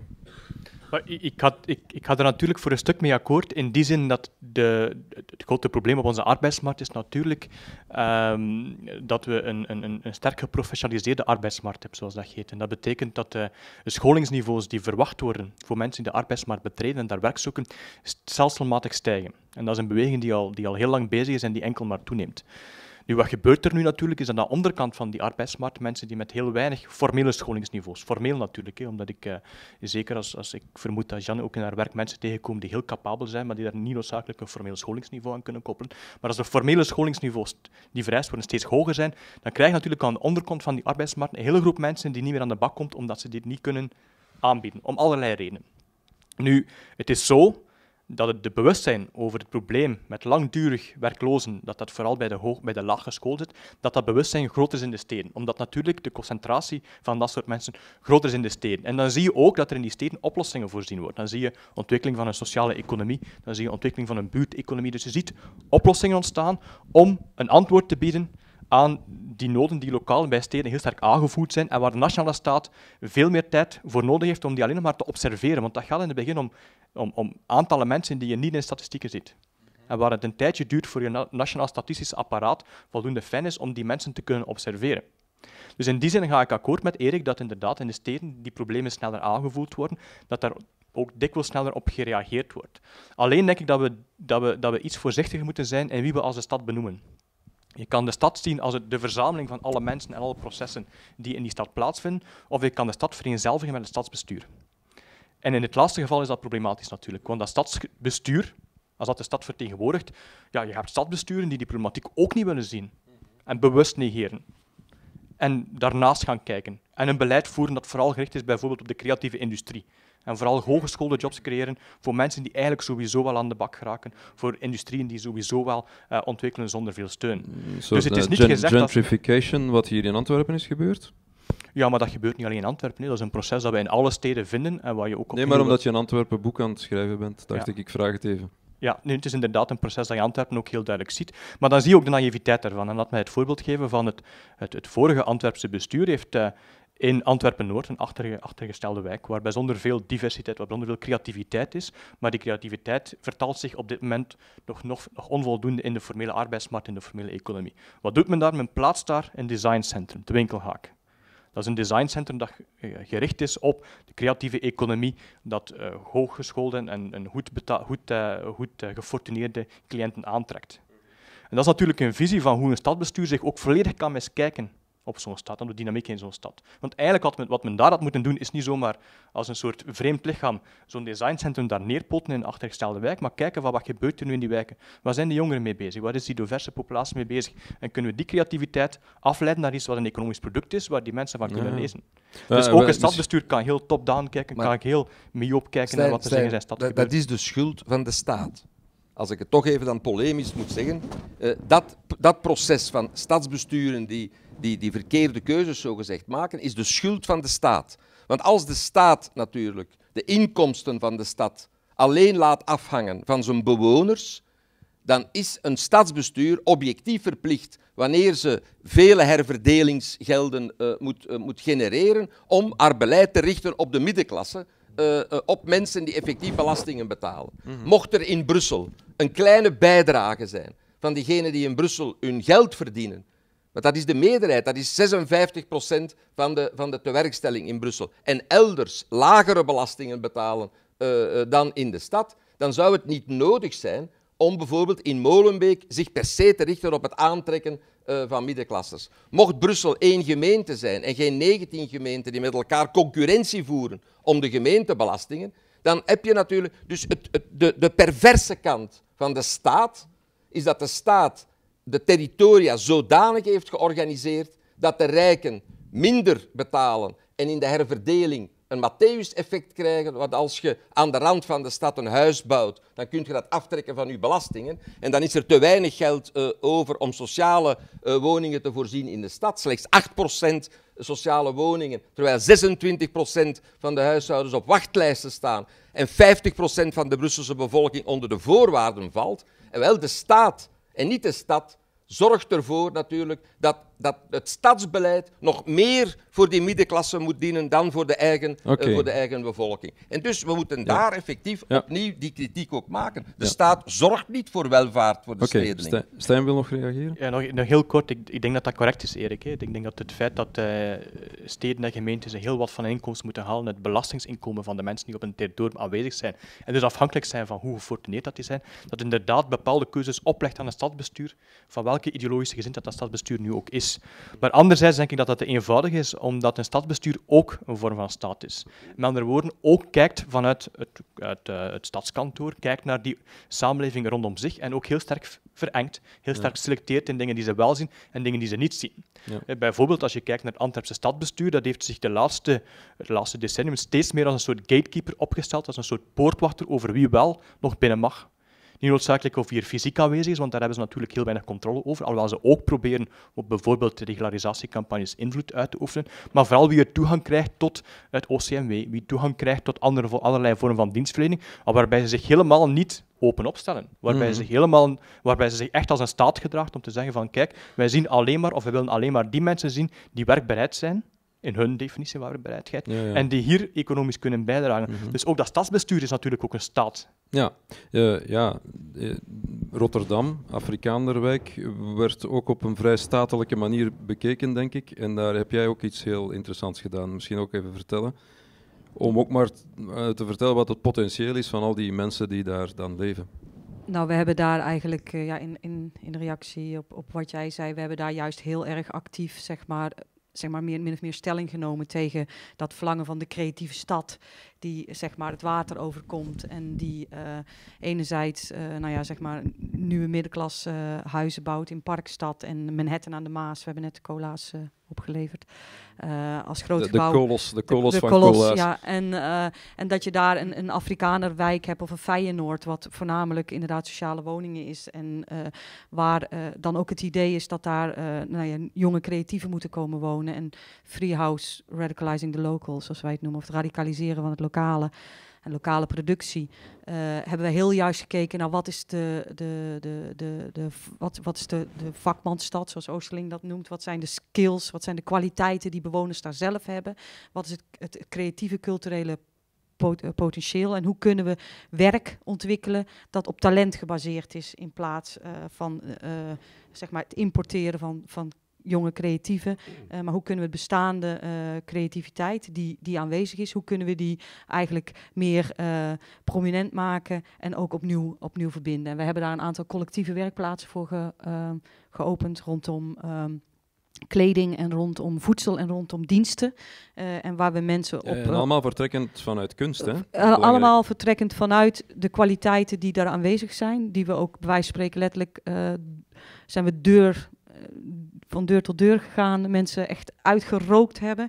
Van nou ja, wat, wat kan je eigenlijk bijdragen? Laat dat eens zien. Uh, jij kan zoveel uur dit, jij kan zoveel uur dat. En samen eigenlijk uh, bijna als uh, ja, zeg maar één groot collectief vakbekwaam lichaam produceren wij producten en diensten in dat gebied die um, inmiddels zo'n 60 arbeidsplaatsen in de wijk bieden op talent gebaseerd. En je zag daar straks plaatjes voorbij komen. En dat betekent niet dat we sweatshop zijn of een gaarkeuken, maar we maken kleding voor Jean-Paul Gaultier. We koken voor iedereen die wil. Dus, uh, Geweldig. Maar mm -hmm. dat mhm. zijn wel collectieve lichamen waarin we met elkaar proberen die ook de verdeling van tijd, de verdeling van, uh, van het geld uh, anders te organiseren. Wat, wat doet dat eigenlijk met die mensen zelf? Nou ja, je ziet daarin natuurlijk, je ziet daarin een andere vorm van, van bewustwording en een vorm van politi politisering. En ik denk dat dat niet alleen is, niet alleen maar van, nou ja, je, je deelt, je doet mee en je, je verdient je boterham, maar door in die verbanden samen te werken. En dat gaat soms tussen verschillende culturen niet altijd makkelijk. Maar je hebt wel een talent wat je deelt of, of werk wat je deelt. En op een gegeven moment word je daar dus ook politieker van. Je merkt dus ook dat door, die, door dat samenwerken en door die, die, die organisatie uh, mensen uiteindelijk ook bewuster, je kan zeggen emancipeerder worden, maar ook echt deel gaan nemen aan de discussie over een wijk. Dus naast zeg maar je, je, de mogelijkheid om nou ja, om te werken, maar werkt dat op talent gebaseerd en niet alleen maar van, nou je kan ook naar de kassen, hè, want dat is dan de populaire uitspraak, zo van ja die mensen kunnen ook wel in de kassen gaan werken, uh, maar van op de eigen kwaliteit en kracht deel gaan nemen aan die, aan, uh, aan die arbeidsmarkt, is natuurlijk, ja, dat geeft een, stukje zelf, uh, ja, zelf eigenwaarde, maar dat leidt ook tot dat mensen actief burger worden, ze worden actiever. En, dat en, niks, niks identitairs of zo. Nee, want dat, dat is toch vaak, dat is vaak om een skill, uh, skill gebaseerd uh, die mensen hebben. Bijvoorbeeld het goed kunnen haken. Of, ja. dat, vindt, dat vindt Erik zalig, hè, wat er nu wordt verteld. Dat is absoluut, natuurlijk. want, want daar is een naam voor. Hè. Dat, is, dat is namelijk coöperatieve. Ja. Dus op solidariteit, op solid, dat is solidaire producenten die produceren voor een markt. Dat is eigenlijk huishoudelijke vaardigheden die alleen communautair in ruil en in, in, in, de, in de economie van de wederkerigheid uh, gevaloriseerd worden, om die uh, open te breken. En waarom vind ik dat zo zalig? Omdat dat natuurlijk een van de grote problemen van de steden is de communautarisering van de overlevingsstrategieën. De uitgeslotenen worden teruggeworpen en dan een probleem voor de samenleving, voor, voor de politiek, omdat ze teruggeworpen worden op wederkerigheid. En wederkerigheid heeft altijd heel strikte lidmaatschapsvoorwaarden. Tot dezelfde religie behoren, tot dezelfde etnische groep behoren, tot dezelfde traditie behoren. En natuurlijk, wat ik wil in die stedelijkheid, in die mondialisering, dat is wereldburger worden. En dat betekent dus samenleven met de ander, met het radicale verschil. Zonder dat dat eerst gemeenschappelijk wordt. Mhm. En dat kan je alleen door samen te werken. Ja. Dat is toch de oude socialistische gedachte van de 19e eeuw, waarin we tegen, waarin mhm. we tegen uh, de, de, laten we zeggen, de, de, de oude traditionele samenleving uh, uh, waren. We nu samenwerken voor het eigen, voor het, mhm. voor het eigen laten we zeggen, overleven en dat vermaatschappelijken, dat is de, dat is de weg. En dat gebeurt ook zo dikwijls mm onder de radar in steden vandaag. Ja, Stijn, Gent is een goed voorbeeld geweest ooit. Jij als Gentenaar, hè, dat gebied van dat coöperatieve, zoals Erik daarnet zei. Ja, dat is zeker, maar ik denk dat Erik zijn argument iets te, iets te scherp stelt. Um, om, omdat natuurlijk, als je kijkt hoe, wat daaruit voortgekomen is, daar zijn arbeidswijken uit voortgekomen in het Gentse, uh, die als gemeenschap heel sterk functioneerden. Dus het ook de vooruit uit voortgekomen. Daar is ook de vooruit uit voortgekomen. Maar ik denk dat je bent lid van de vooruitgroep. Ja, ook, alle, allebei. Um, maar ik, ik, ik denk dat dat soort processen ook altijd gemeenschapsvormend is. Ehm, dus ook die arbeiderswijken, die hebben, die hebben een hele gemeenschapsvorming uitgebouwd met, met eigen cafés, met fanfares, met turnclubs enzovoort. Dus ook daar is uit, inderdaad, daar is een nieuwe samenleving uit voortgekomen, omdat uiteraard nu, die nu mensen zijn die we wel gemeenschap en samenleving toch weer door elkaar aan het gebruiken. Ja, maar je kan, je kan de twee niet, niet los van elkaar zien. Um, omdat natuurlijk die mensen die uit een eigen lokale gemeenschap vertrokken zijn, vanuit het landelijke Vlaanderen, in die steden gaan wonen zijn, die, zijn, die hebben daar een nieuwe samenleving gevormd, maar paradoxaal genoeg zijn daar ook nieuwe gemeenschappen ontstaan. Dat kan je, dat kan je, kan niet ontkennen dat al die de arbeiderswijken ook, ook eh, effectief arbeidersgemeenschappen geworden zijn met een heel, eh, met een heel verenigingsleven, met een heel, uh, met een heel gemeenschapsleven. Dus ik, ik zie niet goed in waarom hoe, je kan daar ook niet uitbreken. Je kan mhm. die spanning zo productief mogelijk laten zijn, want vandaag, en dat is een van de grote problemen van veel van die postindustriële wijken, is uiteraard dat heel dat gemeenschapsleven versplinterd is, omwille van het feit dat de meer welstellende arbeiders weggetrokken zijn, superbaan gaan wonen zijn, dat degenen die achtergebleven zijn natuurlijk de, de, de, de, iets minder welvarende zijn, dat daar bovendien nog eens een desindustrialisering bovenop gekomen is, waardoor dat die mensen uh, een inkomen verloren zijn, een economische trots verloren zijn, enzovoort. En daar komen bovenop nog eens, nog eens migranten bij, van het mm. allerlei plumage. Dus heel die gemeenschapsvorming is onderuit gegaan. En nu zie je wat in die wijken gebeurt. Is uiteraard, daar, wordt daar moet een nieuwe samenleving ontstaan. Een samenleving van waaruit mensen die uit heel verschillende gemeenschappen komen, zich opnieuw tot elkaar moeten verhouden en verantwoordelijkheid proberen opnemen voor die wijk, of daar een identiteit aan geven, daar een project van maken. Maar dat gaat onvermijdelijk samen met nieuwe vormen van gemeenschapsvorming. Onvermijdelijk. Niet mee eens, maar we gaan het niet nog eens uitwerken. Um, wat, wat, wat ik wel nog zou willen vragen om, om, deze, om dit panelgesprek af te ronden is uh, Salon de la Pensée. Zeg eens, wat is voor u nu de gedachte stad? Hè? Abstractie gemaakt van, van alle, uh, wat moeilijk is natuurlijk, want elke stad is verschillend en sui generis, maar toch de gedroomde stad. Uh, wat voor een plek zou dat zijn om het eens op zijn Moors uh, te doen? Ja, dat had ik ook gisteren even moeten laten weten. maar ik denk dat de stad altijd een project is in die zin, je kan, ik kan nooit zeggen Gent is dit of Antwerpen is dat of Brussel is dit. Het is altijd afhankelijk van een concrete situatie, van uitdagingen die naar voren geschoven worden en van oplossingen of van interventies die gesuggereerd worden. Dus het is altijd opnieuw een project waaraan gebouwd moet worden, zoals mm Erik zegt, in verschil, maar, ook over, maar ook in sociale ongelijkheid. Ja, uh, een klein, uh, klein droompje voor Antwerpen bijvoorbeeld, of Gent, jouw stad, je mag zelf kiezen. Een droompje, Een droompje, ja. Zo, uh, wat, wat, zou er, wat zou er los van de context helemaal los kan niet, maar toch maar ik, wat, ik, wat ik ga Brussel nemen, want het is altijd Brussel, een beetje okay. oncomfortabel om over Gent als, als grootstad te spreken, want dat, is uiteraard, allee, dat, is, dat blijft en is nog altijd een provinciale stad, dus dat heeft de pro dezelfde problemen stellen zich daar, die zich ook in Brussel stellen, maar op okay, veel kleinere schaal en met veel minder potentieel natuurlijk om die op dezelfde manier aan te pakken. Maar ik denk dat, als je ziet wat er in Brussel gebeurt en waar, waar Erik ook heel sterk bij betrokken is, dus dat wordt opnieuw van de stad die zijn project verloren had. Het project van Brussel was hoofdstad zijn van een trotse koloniale natie, een Franstalige natie, dat is verloren gegaan, dat is kapot gemaakt. Uh, ik denk niet dat we daar nostalgisch over moeten zijn, dat was absoluut niet mijn, dat zou mijn politiek project geweest zijn. En vandaag zijn er pogingen om daar opnieuw een politiek project van te maken. En dat is vandaag ook een discussie die tot op het Belgische niveau natuurlijk gevoerd wordt, omdat daar geen overeenstemming over is. Um, en wat ik belangrijk vind is in dat soort, dat soort politieke projecten, voor mij moet de problematiek van uh, de problematiek van werkloosheid en laaggeschooldheid daar centraal staan. Ik denk dat heel veel van de problemen die zich vandaag in de stad stellen en de moeilijkheid om die oplossingen te maken heeft met het, de grote problemen op de arbeidsmarkt, die geen jobs meer levert aan een groot deel van de mensen die in die stad wonen. Dus ik denk dat Brussel, politiek... moet Brussel, want we hebben het over hm. Brussel, moet Brussel dan die, dat onderwijs leveren ook? Dat onderwijs, dat... Uh dat nodig is om mensen op te leiden, om ze uh, ja, uiteraard, maar Antwerpen moet dat ook doen en Gent moet dat ook doen. De problematieken zijn ja, daar maar ik bedoel, wie moet dat organiseren? Dat is natuurlijk een politieke vraag ik, ik denk, allee, we hebben, we hebben de, de hele discussie rond de hervorming van het uh, secundair onderwijs gehad. En ik denk dat, uh, dat daar Erik zijn, zijn argumentatie, uh, als we die doortrekken, correct is. Het nationaal niveau is absoluut onbekwaam. En in dat geval is dat Vlaams niveau absoluut onbekwaam om die discussie op een, op een zinvolle manier op te pakken. We hebben daar gezien dat daar een heel conservatieve reflex ontstaan is vanuit het feit van wij leveren toch goed onderwijs. Dat is correct voor die bepaalde groep van mensen die mee zijn in het Vlaams natievormingsproces, maar voor de nieuwkomers is dat absoluut niet het geval.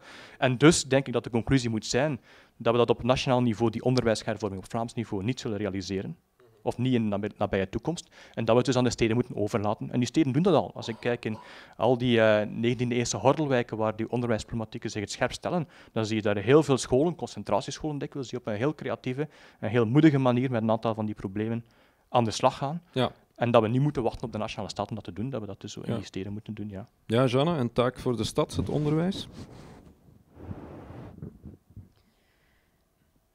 Ja, maar ik denk wat voor mijn gevoel nog veel meer, of wat mijn wens zou zijn voor de, voor de, voor de stad, is dat de stad um, na gaat denken over, um, over zijn toekomst uh, op basis van dat wat hij heeft. In plaats van een soortement van een uh, soort neoliberaal ideaal over een, een grote stad, een creatieve stad voor de middenklasse. Kijkt wat is het potentieel wat we, wat we hebben en hoe kunnen we die nieuwe stad bouwen met wat er is, in plaats van uh, alsmaar iets najagen wat eigenlijk al lang niet meer bestaat. Dat zou mijn droom voor de stad zijn, dat de stad dat ook actief zelf zo gaat voelen. Dat het zijn, zijn burgers en zijn, in al zijn formele en informaliteit serieus neemt als medebepalers van die toekomst van die stad. Mm -hmm. In plaats van uh, wensburgers te verzinnen die überhaupt niet meer bestaan. Eigenlijk is het mooi om af te sluiten, maar Erik mag ook nog iets zeggen natuurlijk. Hè? Wel, ik ben voor het verzinnen van wensburgers. Uh, omdat je vraagt naar een ideaal. En een ideaal dient om niet verwezenlijkt te worden. Uh, maar uh, mijn wensburger is iemand die met vreugde zijn belastingen betaalt en niet alles doet om ze te ontwijken. waarom zeg ik dat? Omdat dat de basis is van solidariteit en niet van naaste liefde. Naaste liefde is een geselecteerde manier van solidariteit waarbij je eerst kijkt naar je naasten, naar mensen die ongeveer die, dicht, die, die op jou trekken. Terwijl echte solidariteit moet, je moet bereid zijn een bijdrage te leveren voor mensen waar je, het niet, waar je niet mee samenleeft, waar je het zelfs niet mee eens bent, die je zelfs niet graag ziet. Dat is maatschappelijke solidariteit. Uh, en dat is ook essentieel voor stedelijkheid. Ik leef niet met alle Brusselaars samen, God bewaren me. En, en, in de stad kan je dat ook. Ben je niet verplicht, zoals in je huishouden of, of in je dorp, om met iedereen samen te leven. Dat is het grote, daarom maakt de stadslucht vrij effectief. Maar de prijs die daarvoor nodig is, is dat ik een decent leven aan al die verschillende mensen, ook al kan ik ze niet uitstaan, uh, daar wil toe, toe bijdragen. En ik denk dat dat de, die, die, die ideale, solidaire samenleving, waarbij je lid bent van, van een mens zijn. En als ik toch mag, Werder, wat... De, Heel even. Het, de grote... Ik ben, ik ben een kind van de verlichting. En de verlichting is de Franse revolutie. En de Franse verlichting had een zeer algemeen beeld over de vorming van de moderne staat. namelijk uh, grote, de grote menselijke uh, principes, uh, waarheid, vrijheid, schoonheid, die stonden daar centraal. Wat in werkelijkheid gebeurd is, is dat de, de romantische tegenrevolutie, dat die Europa en ons denken heeft bepaald. Namelijk dat wij niet samenleven op basis van het mens zijn, maar dat we samenleven op basis van mensen van, met een bepaalde traditie, een bepaalde cultuur, een bepaalde taal, een bepaalde folklore. Eh, en dat we daarin eerst lid moeten van worden voor we politieke rechten krijgen. Het is die Duitse romantiek die in Vlaanderen nog altijd zeer sterk doorweegt, die we eigenlijk in de huidige, met de huidige mondialisering moeten doorbreken. En als we moeten nadenken, in het Salon de la Pensée, moeten we die oude filosofische debatten opnieuw, uh, opnieuw opnemen. En in die zin, mevrouw, zeg ik dat we terug gaan keren zijn naar de 19e eeuw en naar de 19e-eeuwse contra-revolutie, na de nederlaag van Napoleon. En dat is waar, waar, we moeten over nadenken. Dat is dat we, ja. dat we zo gezegd bezig zijn met de toekomst voor te bereiden, maar met zeer conservatieve, zeer reactionaire uh, principes. Het is heel jammer dat hier Matthias Stormen bijvoorbeeld niet zit. Dan hadden we daar verder over kunnen discussiëren. Maar misschien straks met jullie wel. Uh, nu is het tijd voor een kleine lunch. Ik stel voor vijf over één uh, opnieuw. En dan hebben jullie de gelegenheid tot alles, om alles wat op jullie lever ligt te uiten. Uh, u zegt duidelijk dat Vlaanderen achteruit boert. Uh, en spreekt je dan over de laatste, decennia? Of spreek je dan over over hoeveel tijd zie je dat dan terug achteruit gaan en de mentaliteit van de 19, eh, u verwees naar de mentaliteit van de 19e eeuw. En ik zou nog een keer willen vragen dat je dat nog eens uitlegt, zo wat dat daarmee samenhangt, alsjeblieft.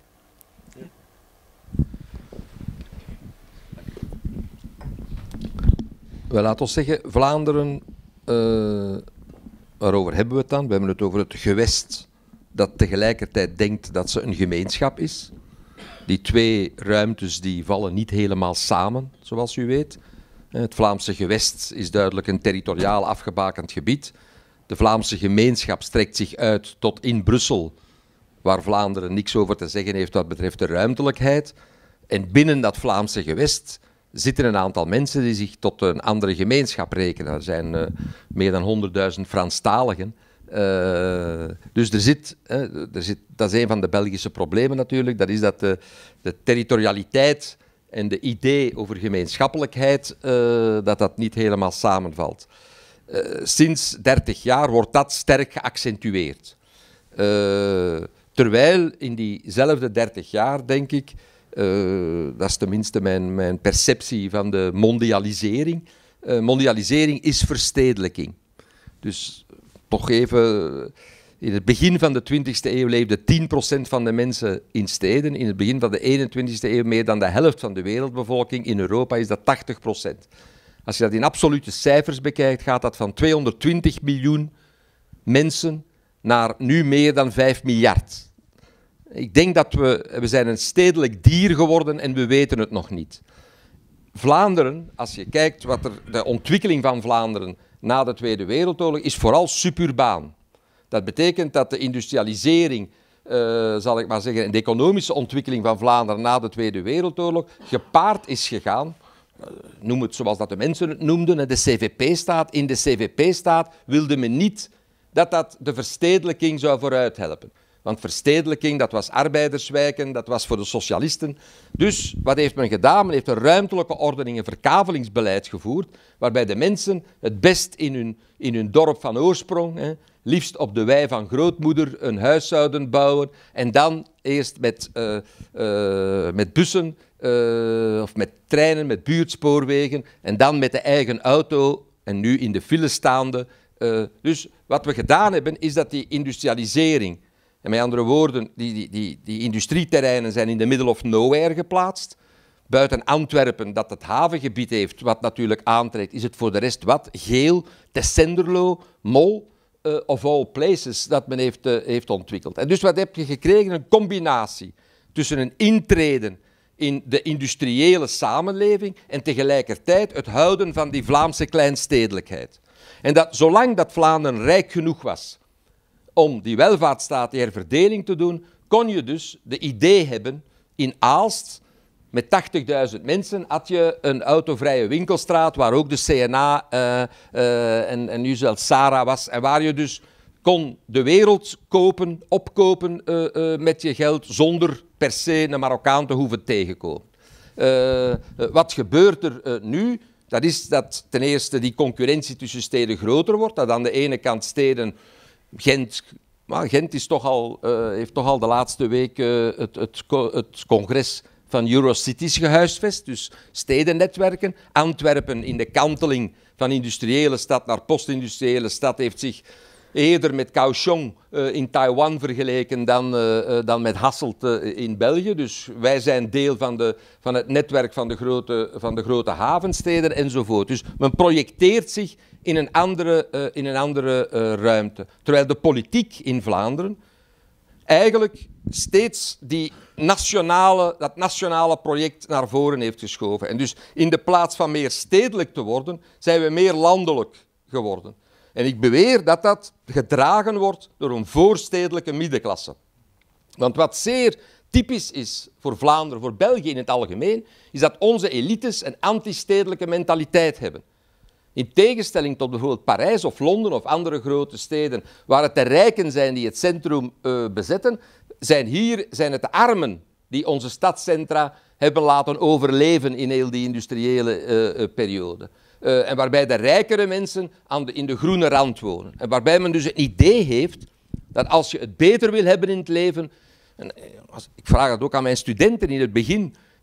wie woont hier in de stad? Dan krijg je maximum 10, 15 procent van de mensen die hun handen opsteken.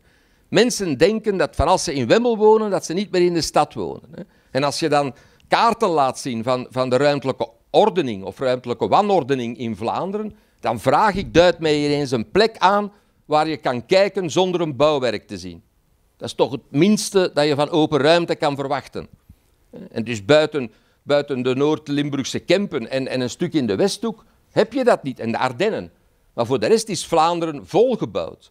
Maar de mentaliteit die daarachter zit, is alsof we nog in het kleine dorp of het grote dorp of de kleine stad uh, uh, wonen. En dus wat ik beweer is dat de politiek, waarbij men de mondialisering en waarbij men de plaats in de wereld wil bewaren, en dus goed, met misschien een goede bedoeling voor het welzijn van de lokale mensen, en dus zich vergelijkt met de rest van de wereld, is op een zeer nationale uh, wijze.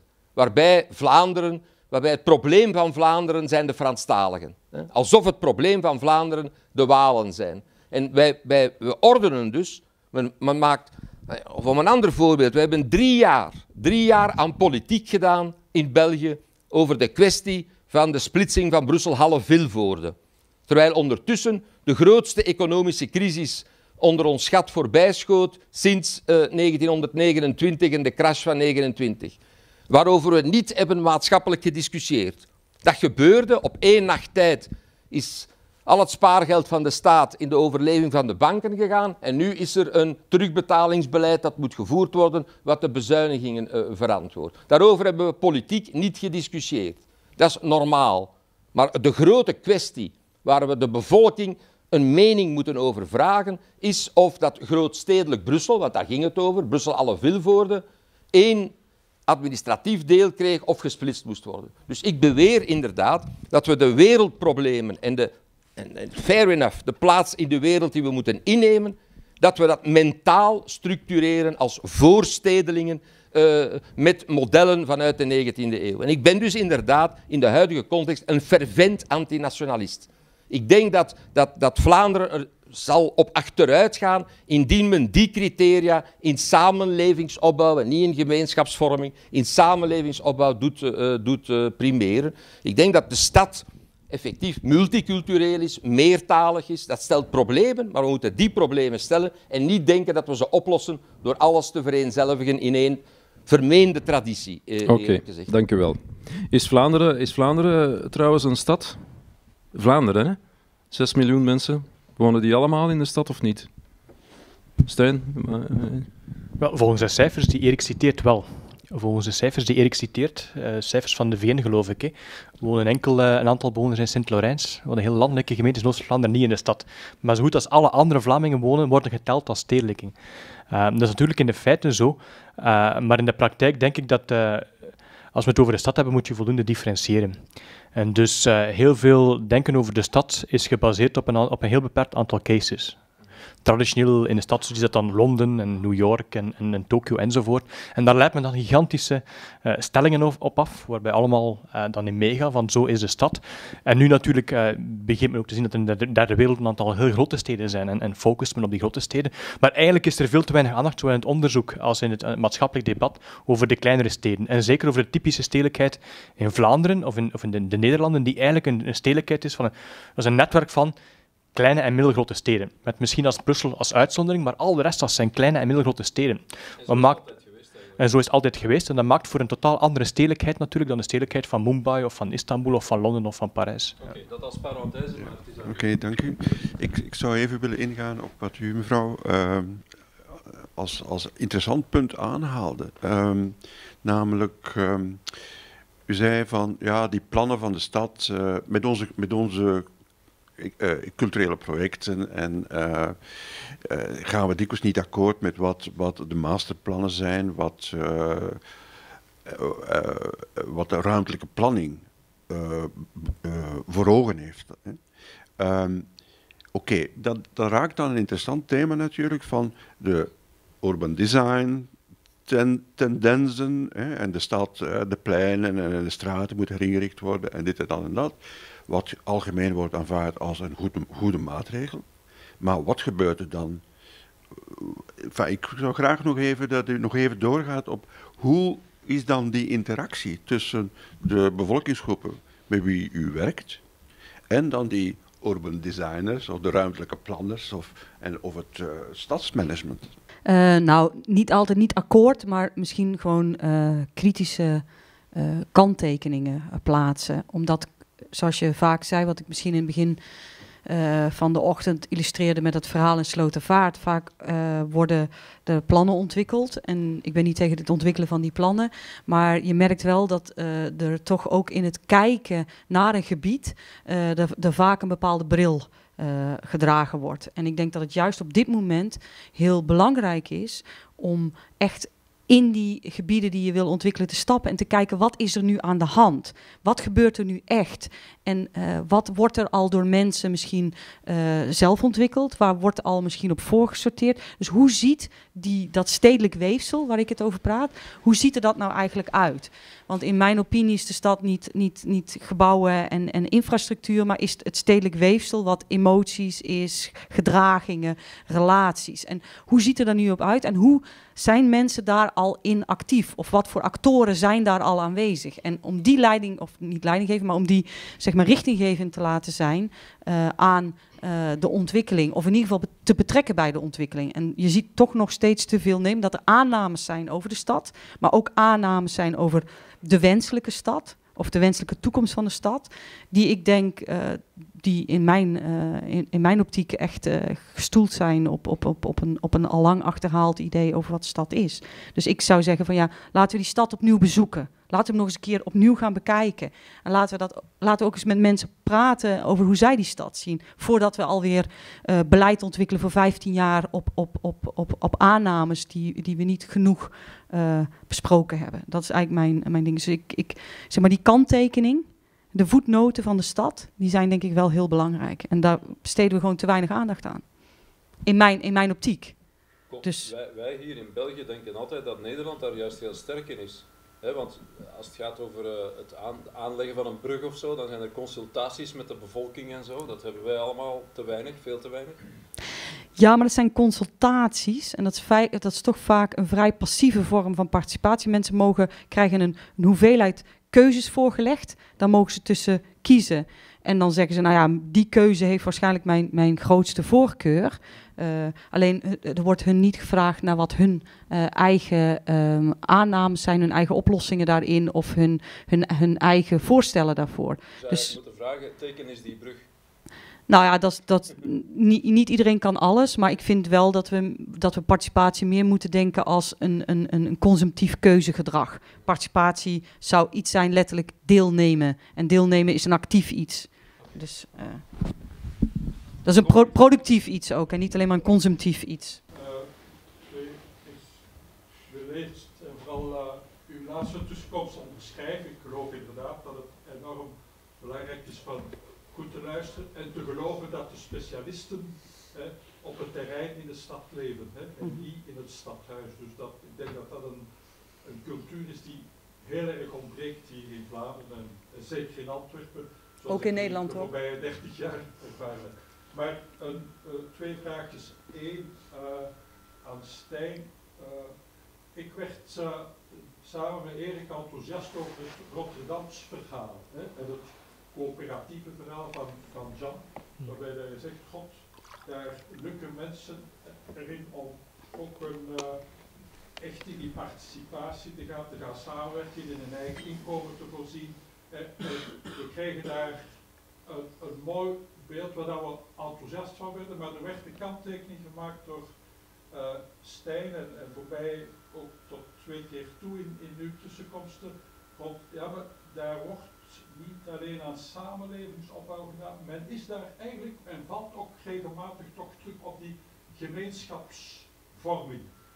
Wat zegt u dan eigenlijk, vooral als je toekomstgericht wil investeren in bottom-up initiatieven? En je zegt, God, wat, wat, is dan uw boodschap daarom? Of wat, is uw, wat geeft u ons mee daarin? Een tweede vraag rond uh, de, de vraag van het debat, kan de stad de wereld redden? Mijn vraag daarbij of daarbinnen is, kan, wat is de rol of kan stadslandbouw daarin een hefboom zijn? Hè? En hoe kijken jullie daarnaar? Ieder vanuit jullie ervaring, ik verwijs naar uh, Kathleen Stiel in haar boek De Hongerige Stad, die zegt, goh, als je wilt werken uh, aan een duurzame voedselproductie, wees dan bewust van het feit dat je eigenlijk aan een duurzame samenleving werkt. En dus als we de stad in het centrum zetten, wat is dan de rol van stadslandbouw? Ik stel daarbij toch ook vast, eh, in de, wij zijn betrokken bij Transition Town beweging, in de vertaling daarvan hier in Vlaanderen. Wie, wie is wij? Uh, ja, maar vanuit een tra transitie, uh, een transitiegroep in een wijk okay. in Antwerpen uh, zijn dan tiental initiatieven nu in het Antwerpse, die op wijkniveau proberen zeg maar, te kijken naar die ecoloog, het kleine verminderen van die ecologische voetafdruk. En dan probeer je mensen, ik maar dan probeer je mensen te mobiliseren om te kijken naar waar kunnen we dat doen. En dan zie je praktisch al die groepen kiezen naar goed, uh, de voedselproductie terug in handen krijgen en voedselautonomie en vandaar stadslandbouw. Oké, okay, dankjewel. Um, ik, ik, denk dat ik. Um, de, de, het argument dat ik, probeer, dat ik probeer te maken is dat gemeenschapsopbouw noodzakelijk is. Dat dat ook altijd gebeurt. Dat dat empirisch gezien, dat dat in de feiten altijd gebeurt. Um, dus ik ga niet akkoord dat het enkel een Duitse romantische traditie is waar we vanaf moeten geraken. Ik denk dat dat onvermijdelijk is. Zo misschien onvermijdelijk is beter dan noodzakelijk. Het is onvermijdelijk dat dat gebeurt. Maar het is onvermijdelijk is het ook problematisch. En daar ga ik wel akkoord met Erik. Dus ik denk dat onvermijdelijk gemeenschapsvorming problematisch is, omdat het gebaseerd is op wederkerigheid, op uh, een aantal uh, toegangsvoorwaarden. Je moet deel zijn, je moet een aantal dingen conformeren, het zijn waarden of normen of een bijdrage enzovoort, om daar deel van uit te maken. Dus ik denk dat het tegelijkertijd onvermijdelijk is, maar onvermijdelijk ook problematisch. En dat we dus moeten werken met de spanning tussen de onvermijdelijkheid dat we altijd opnieuw proberen gemeenschaps te vormen, maar ook proberen te werken met de spanning dat het altijd opnieuw uitsluiting teweeg brengt. En ik, mag dat, ik probeer dat concreet te maken aan de hand van... Uh, van lokale projecten. Ik denk dat er vandaag heel veel lokale projecten gebeuren. Die zijn niet allemaal gemeenschapsvormend, maar sommige wel. Ik denk de Transition Town Movement is in vele gevallen heel sterk gemeenschapsvorm, ook heel sterk gebaseerd op een communautaristisch idee van wij zijn hier samen lokaal gemeenschap aan het vormen. Uh, dat is op zich, maakt dat die beweging heel sterk, want dat hangt heel sterk samen. Maar tegelijkertijd maakt dat die beweging ook heel uitsluitend. Want er zijn allerlei uh, elementen die daar geen deel van uitmaken. Er zijn allerlei bijvoorbeeld stromen uh, grensoverschrijdende problematieken die daar moeilijker in kunnen passen. Hè. Bijvoorbeeld, wat gebeurt er als er uh, veel grote migratie is, grote mobiliteit? Hoe past dat in in zo'n transition town? Dus ik denk dat we die enerzijds, uh, die lokale projecten, ik ben daar heel sterk genegen. ik denk dat dat ook een discussie is die, dat daar ook vandaag heel veel geloof in geput wordt. Men, men noemt dat vandaag lokale sociale innovatie. Ik geloof daar heel sterk in, maar het is nooit voldoende. En de reden waarom het niet voldoende is, en waarom je altijd, denk ik, opnieuw een staatszaal nodig hebben, is omdat, neem nu bijvoorbeeld de wijkgezondheidscentra. Een wijkgezondheidscentra is iets wat een, een 20, 30 tal jaar geleden ontstaan is in een aantal achtergestelde stedelijke buurten, waar een aantal mensen, uh, ook die uit die mei 60 generatie kwamen, die zeiden van de manier waarop onze gezondheidszorg werd, daar, is, daar zijn problemen mee. Eén, heel veel mensen in achtergestelde posities hebben daar te weinig toegang toe. Dus we hebben gezondheidsongelijkheden. Maar ook de manier waarop, waarop dokters omgaan met een cliënt, dat is niet goed. Men ziet mensen te weinig in de leefomgeving. Men behandelt een bepaalde individuele problematiek, maar men ziet niet dat achter die individuele problematiek bijvoorbeeld slechte huisvesting zit. Een krot bijvoorbeeld, waar mensen lucht, uh, lucht, uh, luchtwegenproblemen krijgen omdat ze in een slecht krot wonen en niet zozeer als, als, als omwille van een individuele constitutie. En dus heeft men een ander model ontwikkeld, een, een, een, gezond, waar men probeert ook preventief op te treden en mensen probeert die collectieve gezondheidsproblemen aan te pakken, waar men mensen ook een plaats geeft in het beheren van die wijkgezondheidscentra. Dus men heeft een soort participatief model ontwikkeld. Dat is heel fijn. Dat is heel goed en dat werkt ook, dat is een belangrijke actor in die lokale gemeenschappen. Alleen creëer je opnieuw een probleem. Want als je het geluk hebt om in bijvoorbeeld de Brugse Poort te wonen in Gent, waar je een uitgebouwd wijkgezondheidscentrum hebt, dan zijn jouw toegang tot de gezondheidszorg is voor een stukje opgelost hè, door dat wijkgezondheidscentrum. Maar als je de pech hebt dat je bijvoorbeeld op een plaats woont waar dat lokaal initiatief niet genomen wordt, dan heb je daar helemaal geen toegang toe. Dus je creëert een nieuwe ongelijkheid door die lokale projecten. Je ondergraaft eigenlijk een heel fundamenteel idee van onze welvaartsstaat is dat mensen gelijke rechten hebben. Dat iedereen recht heeft op toegang tot de gezondheidszorg. Met andere woorden, die lokale projecten zijn nooit voldoende. Je moet ook altijd een overheid hebben die uh, aandacht besteedt aan die lokale projecten, die die succesvolle projecten daar ook uithaalt en zegt van kijk, dit is een succes, we moeten zorgen dat dat op meerdere plaatsen in het grondgebied dat mensen daar toegang tot hebben. We moeten daar een recht van maken. We moeten ons recht op gezond herdenken op basis van die lokale initiatieven. En ik, zo zie ik die spanning tussen die twee. Die lokale projecten zijn goed, ook die gemeenschapsopbouw die daar gebeurt, dat is fundamenteel positief. Maar het heeft ook altijd een uitsluitende dynamiek. En dan heb je een overheid nodig, een staat nodig, die, die denkt vanuit de maatschappij en niet vanuit de gemeenschap. Daar ga ik zeker akkoord met Erik. En die daar rechten van maakt. Die dat, die dat formuleert in termen van rechten, verbetering van rechten, anders invullen van rechten. Dus ik, zie, ik, ik denk dat we op die spanning moeten werken, eerder dan te zeggen gemeenschapsgebouw is altijd en overal negatief. Ja, Wacht, eh, er was nog een tweede vraag. Mag, mag, ze eerst nog beantwoord worden, dan is. Uh, die, het ging over eh, de stadslandbouw. Hè? Ja, dus de vraag die daarachter zit is om de, uh, dat is de intuïtie dat om de ecologische footprint naar beneden te halen, dat we meer ter plaatse moeten doen. De vraag dan is, wat is ter plaatse? Een beetje wat Stijn ook al aanhaalt, hoe groot is de plaats nog? En dan zeg ik, dat geeft me de gelegenheid om dat toch ook uh, in het licht te brengen, dat is dat het wereldsysteem vandaag is niet, is niet de, laten we zeggen, het samenvoegen van alle territoria, alle landen. Het wereldsysteem omvat de hele wereld, maar niet alle plaatsen in de wereld. Met andere woorden, de, de mondialisering heeft ook een andere geografie dan het systeem van de natiestaten dat in de 19e eeuw is vormgegeven. Dat de wereld als een puzzel ziet van landen met grenzen, nergens twee landen, overal één land, eh, dat soort organisatie. Het wereldsysteem is een netwerk. Een netwerk tussen knooppunten. En dus plaatsen die in dat systeem van belang zijn, zijn plaatsen die groot genoeg zijn om knooppunten te zijn van het netwerk. En dus eigenlijk zijn wij deel van het wereldsysteem via die metropolitane gebieden. En het is doorheen dat netwerk dat die mobiliteit zo geweldig groot is geworden. En dat wij in ons ontbijt kiwis heten uh, die, die, die ingevlogen worden uh, de, de, de vorige nacht. Dat is niet duurzaam. De vraag is dus effectief, wat kunnen we herlokaliseren? En daar is een interessante kwestie, wat, ik, wat mij, maar, maar recent ben ik daar opgevallen, maar dat vind ik een heel fascinerend terrein. Dat is namelijk het probleem van de afbakening van het lokale. Want een van de problemen is dat de stad uh, knooppunten is, maar dat die knooppunten ook sprawled city is. Dat het, dat, dat, dat het niet meer de oude middeleeuwse afgebakende stad is, waar trouwens de landbouw ook binnen de, uh, binnen de wallen uh, plaats, plaatsvond. En dus moeten we kijken, wat is het stedelijk systeem? Nu, los van de afbakening zijn er een aantal pistes die jullie soort mensen eigenlijk hebben geopend. Er is veel meer, de stad heeft altijd geleefd op kap van het ommeland. En heeft eigenlijk meer waarde laten produceren in het ommeland en dat geconcentreerd in de stad via de markt, essentieel. Wat u vraagt is, wat kunnen we zelf produceren ter plaatse? En dus die, die, die, die landbouw, in de plaats van onze, onze grond alleen te bekijken als siergrond, als parken en, en grasvelden en eigenlijk uh, de aardappelen altijd naar het ommeland te, te, te verwijzen, wat is er te doen in de stad? Veel meer dan we denken. Wat mij trouwens nog meer gefascineerd heeft, is dat ik recent heb vernomen, dus heel die, die stroming rond urban mining, urban stock. Een van de grote problemen van ons systeem, van het kapitalisme, is dat alles omgezet wordt in geld.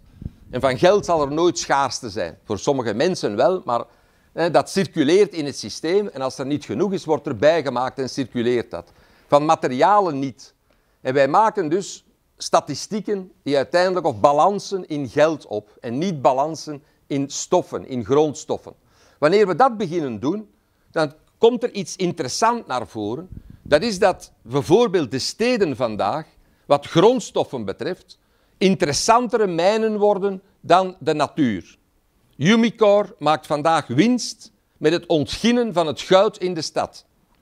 Met 2 ton afval van de stad maken ze 2 gram goud. En daarvoor heb je in de Zuid-Afrikaanse mijnen 20 ton gruis of steen uh, uh, nodig. Met andere woorden, als je dat ziet gebeuren, de edele metalen vandaag zijn al rendabel te ontginnen in de stad. En dus plots wordt de stad een, een, een we hebben geologen gemaakt die, die overal in de wereld naar lagen zoeken waar grondstoffen in zitten. Wij hebben geen stokbeheer van de stad. Wij weten niet hoeveel koper er in Antwerpen zit. Wij weten niet hoeveel nuttige uh, metalen, nuttige grondstoffen in die stad zitten. Wij hebben gedurende eeuwen buizen in de grond gelegd, die vervangen met nieuwe buizen en de zaken daar laten inzitten. Onze huizen hebben koperen klinken gemaakt op het moment dat er nog voldoende was. Op het ogenblik dat dat een schaars goed wordt en dus meer waarde krijgt, wordt het misschien interessant om een ophaling te doen van klinken. In de stad kan je daar zelf je buitenverblijf in de rand eh, mee, mee, eh, mee betalen en je vervangt je. Ik bedoel maar, het materiaal dat in de stad zit, wordt een interessant ontginningsgebied. Wij weten daar niets over. En dus heel die, dat denken wat u in die transitiebeweging doet, is het begin van een proces, denk ik, waarbij de stedelijke context op zich opnieuw zal afbakenen en waarbij we het lokale dat is niet materieel te bepalen door een grens, maar het lokale systemisch zullen maken, kunnen we niets ter plaatse doen dat goedkoper is dan het van elders in te voeren. En dat is de vraag. Oké. Okay. Janna, wil jij daar nog iets aan toevoegen? Of ben je het helemaal eens met Erik? Nou, ik, ik ben het uh, in die zin eens met het feit dat we, dat we moeten kijken hoe we dat lokale niet alleen opnieuw kunnen definiëren, maar ook hoe we inderdaad uh, veel meer uh, lokaal gaan, gaan inkopen en gaan uh, nou ja, veel dichterbij ook gaan zoeken naar, naar onze materialen, onze grondstoffen. Uh, dus, dus zoveel mogelijk om juist ook uh, nou ja, om dat behapbaarder te maken. Bijvoorbeeld wij met, in, in de Afrikanenwijk, wij, wij doen dat heel bewust. Wij kopen bijvoorbeeld al onze groentes en fruit en al onze materialen zeg maar lokaal. Dat wil niet zeggen dat alles wat wij bijvoorbeeld op de markt kopen dan ook ook, ook uh, sommige dingen komen nog steeds uit Turkije. Uh, maar je hoopt dat dat zoveel mogelijk dan uit de, uh, uiteindelijk ook uit de regio rondom Rotterdam vandaan gaat komen. Maar wat we wel proberen te doen is om de, om, om, zoals wij vaak zeggen, het geld wordt bij ons drie keer lokaal uitgegeven. We kopen lokaal, we betalen lokaal en we creëren lokaal. Dus we proberen in ieder geval een stukje van de economie en van de productie zeg maar, lokaal vast te houden. En ik, volgens mij is het niet alleen maar, zeg maar, gaat het niet maar alleen maar over hoeveel grond kunnen we lokaal bewerken, maar het betekent ook dat je de kwaliteiten die, die, die zich lokaal bevinden, hoe kan je die nou ja, vasthouden. En dat betalen gebeurt nog altijd in euro's? Ja, wij betalen in euro's. Ja. ja maar dat betekent. Ja, want dat is een heel goed voorbeeld, ook een, een, Rotterdams trouwens voorbeeld. Er zijn te veel architecten en, en ontwerpers nu voor de markt. Hè. Er zijn er zoveel. Dus dat, dat die mensen ook zich op de markt moeten plaatsen door goedkoper te bouwen, bijvoorbeeld. Het is een Rotterdams uh, architectengroep die, uh, die telkens, wanneer ze een werf heeft, een kaart ook maakt van de werven, van de afbraakwerven in de nabije omgeving. En kijkt welk soort materiaal daar gerecycleerd moet worden. En dan krijg je een soort andere opvatting over recyclage. Als je dat in een kapitalistisch systemisch uh, manier bekijkt, dan heb je, wordt alles terug in, in zijn kleinste element afgebroken. En dus ijzer wordt dan weer de ijzermoleculen en dan opnieuw in het industriële systeem uh, gepompt. Wanneer je kijkt uh, uh, wanneer je opbouwt en bepaalde stukken nodig hebt, dan kan het zijn dat de recyclage helemaal niet moet afgebroken worden. En dan krijg je dus oude windmolenwieken, die kunnen dan als zodanig stadsbanken worden. of vliegtuigen die, die ontmanteld worden, daar kunnen heeldere panelen gebruikt worden als, als geluidsisolatie in culturele centra. En dan krijg je dus een hergebruik van stukken ontwerp zoals ze al zijn. En waarbij je de recyclagecyclus heel kort uh, ook maakt. En dat wordt rendabel op het ogenblik dat je dat van dichtbij haalt. Omdat het dan precies kan zijn. Dat is een heel interessant mechanisme. Dat is zoals de, de Longobarden hun kerken bouwden met de brokstukken van tempels van de Romeinen.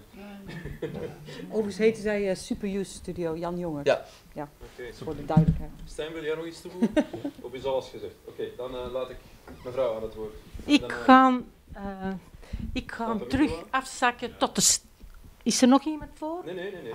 Ik ga terug afzakken tot het stadsdingen. De burger die in de stad woont. Uh, meneer zegt, het, uh, die gezondheidscentrums, dat was een heel goede vooruitgang. En daar heb ik zelf ook nog aan deelgenomen. Ze richten borstonderdzoek, longonderzoek, dit in. Overal waar het gratis was, ik er naartoe. Hè. Maar ik kon het betalen voor over ander toe te gaan. Maar de mensen die het werkelijk nodig had, die schoten door de mazen. Die zagden daar niet. Die had nodig hadden voor onderzocht te worden. Hè. Er zou eigenlijk een oplossing gewoon moeten, moeten zijn. Ja, Stijn, dat vind, dat vind ik. ik en dan ik nog even nog een vraag. Ik, maar ik vraag me af of wij over hetzelfde spreken, want die wijkgezondheidscentra die, die werken gratis. Ah, wel, ja. Dus dat betekent dat iedereen daar in principe naartoe kan gaan. Meneer, het is een mat gratis was. Ik zeg, hop, ik er naartoe. Hè. Ja, maar... Dus de niet een hoop gratis. Hè. Ja, maar wat is dan de vraag? ik begrijp de vraag. Die had er moesten komen. Hmm. Die had het nodig hadden. Waar het voor ingericht hmm. was. Die zagden niet. Die mensen die, die wisten nog niet van het bestaan af. Ja, wel, ik, ik, allee, ik ben zelf ook lid van zo'n wijkgezondheidscentrum, omdat daar ook een, een, bepaald model van solidariteit achter zit. Dus men probeert, ook, men probeert bewust middenklasses aan te trekken, omdat die dokters of die centra financieren zichzelf met de forfait van de ziekteverzekering. En dus die krijgen middelen per cliënt. Die cliënt mag dan wel nergens elders naar de dokter gaan of die moeten volle pot betalen. En ze proberen dus mensen aan te trekken die weinig naar de dokter gaan, die weinig ziek zijn, om op die manier te financieren voor mensen die het meer gebruiken. Met de veronderstelling dat mensen die arm zijn meer aan de gezondheidszorg. Het centrum waar ik naartoe ga zit vol met Oost-Europeanen. Dampoortwijk in Gent, omdat daar veel Oost-Europeanen wonen. Als ik naar de Brusse Poort ga, die van de wijk, oudste wijk gezondheidscentrum, dat zit vol met effectief mensen uit de buurt. Dus mijn ervaring is helemaal niet de uwe. Mijn ervaring is niet dat die wijkgezondheidscentra er niet in slagen om die mensen aan te trekken. in mijn ervaring slagen ze daar wel in, maar ik weet natuurlijk niet in welke... Maar mevrouw bedoelt natuurlijk mensen met mediterrane achtergrond. En dus ik denk dat er daar effectief, dat er daar effectief iets over te zeggen valt. Namelijk, en dat, dat versterkt mijn punt, de Oost-Europeanen zijn postcommunistische uh, mensen die hebben een sterke verstaatsing, een sterke industrialisering en een sterke disciplinering en modernisering doorgemaakt. Dus die weten wat het is van diensten te gebruiken die door vreemden worden aangeleverd. Mediterrane culturen uh, uh, hebben dat niet op dezelfde manier uh, ontwikkeld. En daar krijg je dus vertrouwen, de vertrouwenskwestie, is dat die vertrouwenskwestie nog zeer sterk gemeenschappelijk gereguleerd wordt. Meer zelfs, dat de communautaire organisatie het wantrouwen tegen de anderen en tegen diensten onderhoudt omwille van de communautaire interne band, omwille van de bonding uh, uh, binnen de band. En dat is dus, ik vind dat we dat moeten erkennen als een probleem. Een probleem van de communautarisering is dat de vertrouwen, het vertrouwen vooral door wederkerigheid en communautaire uh, vereisten wordt bepaald en niet door het vertrouwen in anonieme diensten die de maatschappij uh, levert. En dus inderdaad vermaatschappelijken in de plaats van communautariseren. Zeg nog maar, mevrouw. Dan zou ik wel eens willen, willen een, een hint hoe dat je daar voorkomt.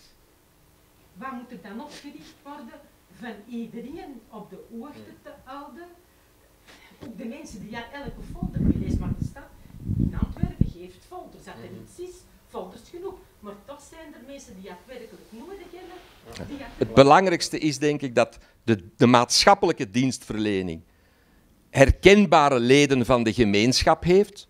Met andere woorden, dat het vertrouwen dat communautair georganiseerd is, kan overstaan, overslaan op maatschappelijke diensten. En dus het is absoluut nefast om de communautaire insignes uit de maatschappelijkheid te houden. Met andere woorden, het hoofddoekenverbod uh, versterkt, versterkt het, het, uh, het, wantrouwen ten opzichte van de maatschappelijkheid. Dus wat ik daar, de enige weg daartoe is het openen van de gemeenschap naar maatschappelijkheid door leden van de, uh, van de gemeenschap maatschappelijke dienstverlening te laten doen, aan, ook aan vreemden. Dus bijvoorbeeld Marokkaanse flikken en...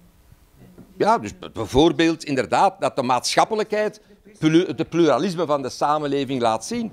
Want wat vandaag absoluut het geval is, is dat de maatschappelijke diensten door de witte middenklassers, die je dan zo genoemd worden, worden geleverd. En dat dus die opboksen in die, vertrouwens, uh, uh, in die vertrouwenskwesties. Wij zijn een te weinig open maatschappij om effectief die meerdere gemeenschappen een plaats te geven. En dat is ook de prijs die we betalen, omdat we eigenlijk denken dat één gemeenschap het referentiepunt is voor alle andere gemeenschappen. Maar het is tegelijkertijd ook een illusie om te denken dat je altijd iedereen kan bereiken. Ja, maar... Dus sowieso een percentage, dat hebben we ook gezien in het onderwijs, waar je zelf aan de deur moet gaan kloppen soms. Ja, ja. dat is een bekend fenomeen. Ja. Ik had nog een vraagje uh, betreffende die coöperatie.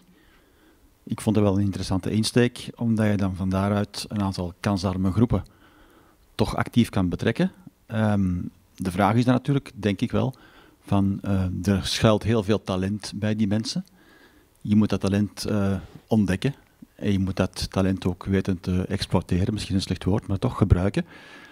Als ik dan naar het filmpje kijk daarnet van de man met zijn kruiden in het Brusselse, die heeft duidelijk een talent wat veel stedelingen van ons niet meer hebben, want die kent al die kruiden nog en die kan er zelf soep van maken, die knor even hard. Hè. Dat is niet slecht, denk ik. Um, maar dan vraag ik mij af, goed, hoe kan een stad dan, al die mensen die met al die talenten, hoe kunnen zij daar iets aan doen om die talenten dan toch wel te bundelen? Moet dat niet een beetje georganiseerd worden? Um, en dan heb ik ook een beetje de angst misschien. Er werd in het begin van deze, van deze salon gezegd dat uh, die informele groep, dat die eigenlijk uh, mee instaat voor de dynamiek van een stad. En schuilt er dan niet een beetje het gevaar in dat als we die informele groep met zijn talenten via die coöperaties een beetje formeel gaan maken, dat die eigenlijk een dynamiek gaan verliezen, juist door het feit dat het wordt opgenomen in, in die gevestigde orde. Dus eigenlijk zou je kunnen zeggen, je hebt altijd een beetje misschien de wanorde nodig, uh, naast die bestaande orde die we hebben. Of je kan het ook positief omdraaien, hoe kan een stad ervoor zorgen dat zij dat uh, talent weet te bestendigen en die dynamiek weet te bestendigen?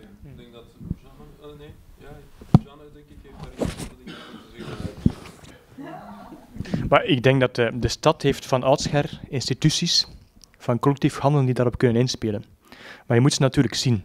En ik denk bijvoorbeeld in, in, in Brussel, opnieuw, um, in alle steden heb je markten. En markten zijn bijzonder laagdrempelig. voor vele groepen mensen om iets aan te bieden wat nuttig kan zijn voor andere groepen.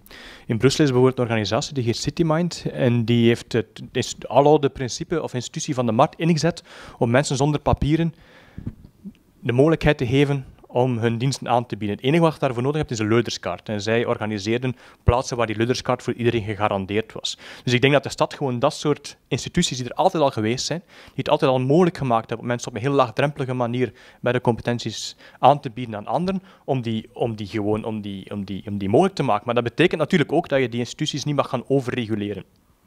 Dus dat betekent als je daar allerlei voorwaarden aan koppelt, als die mensen bij wijze van spreken een opleiding boekhouding moeten, moeten weten hoe dat je zelfstandig in bijberoep wordt en dat soort dingen. Dat werkt dan natuurlijk niet. Maar als je die institutie zo laagdrempelig mogelijk houdt en gewoon zegt van misschien gewoon een luiderskaart die je s'morgens kunt aanschaffen en we zorgen dat alles in orde is, dan heb je die institutie om die mensen een plaats te geven om hun talenten te laten aanbieden.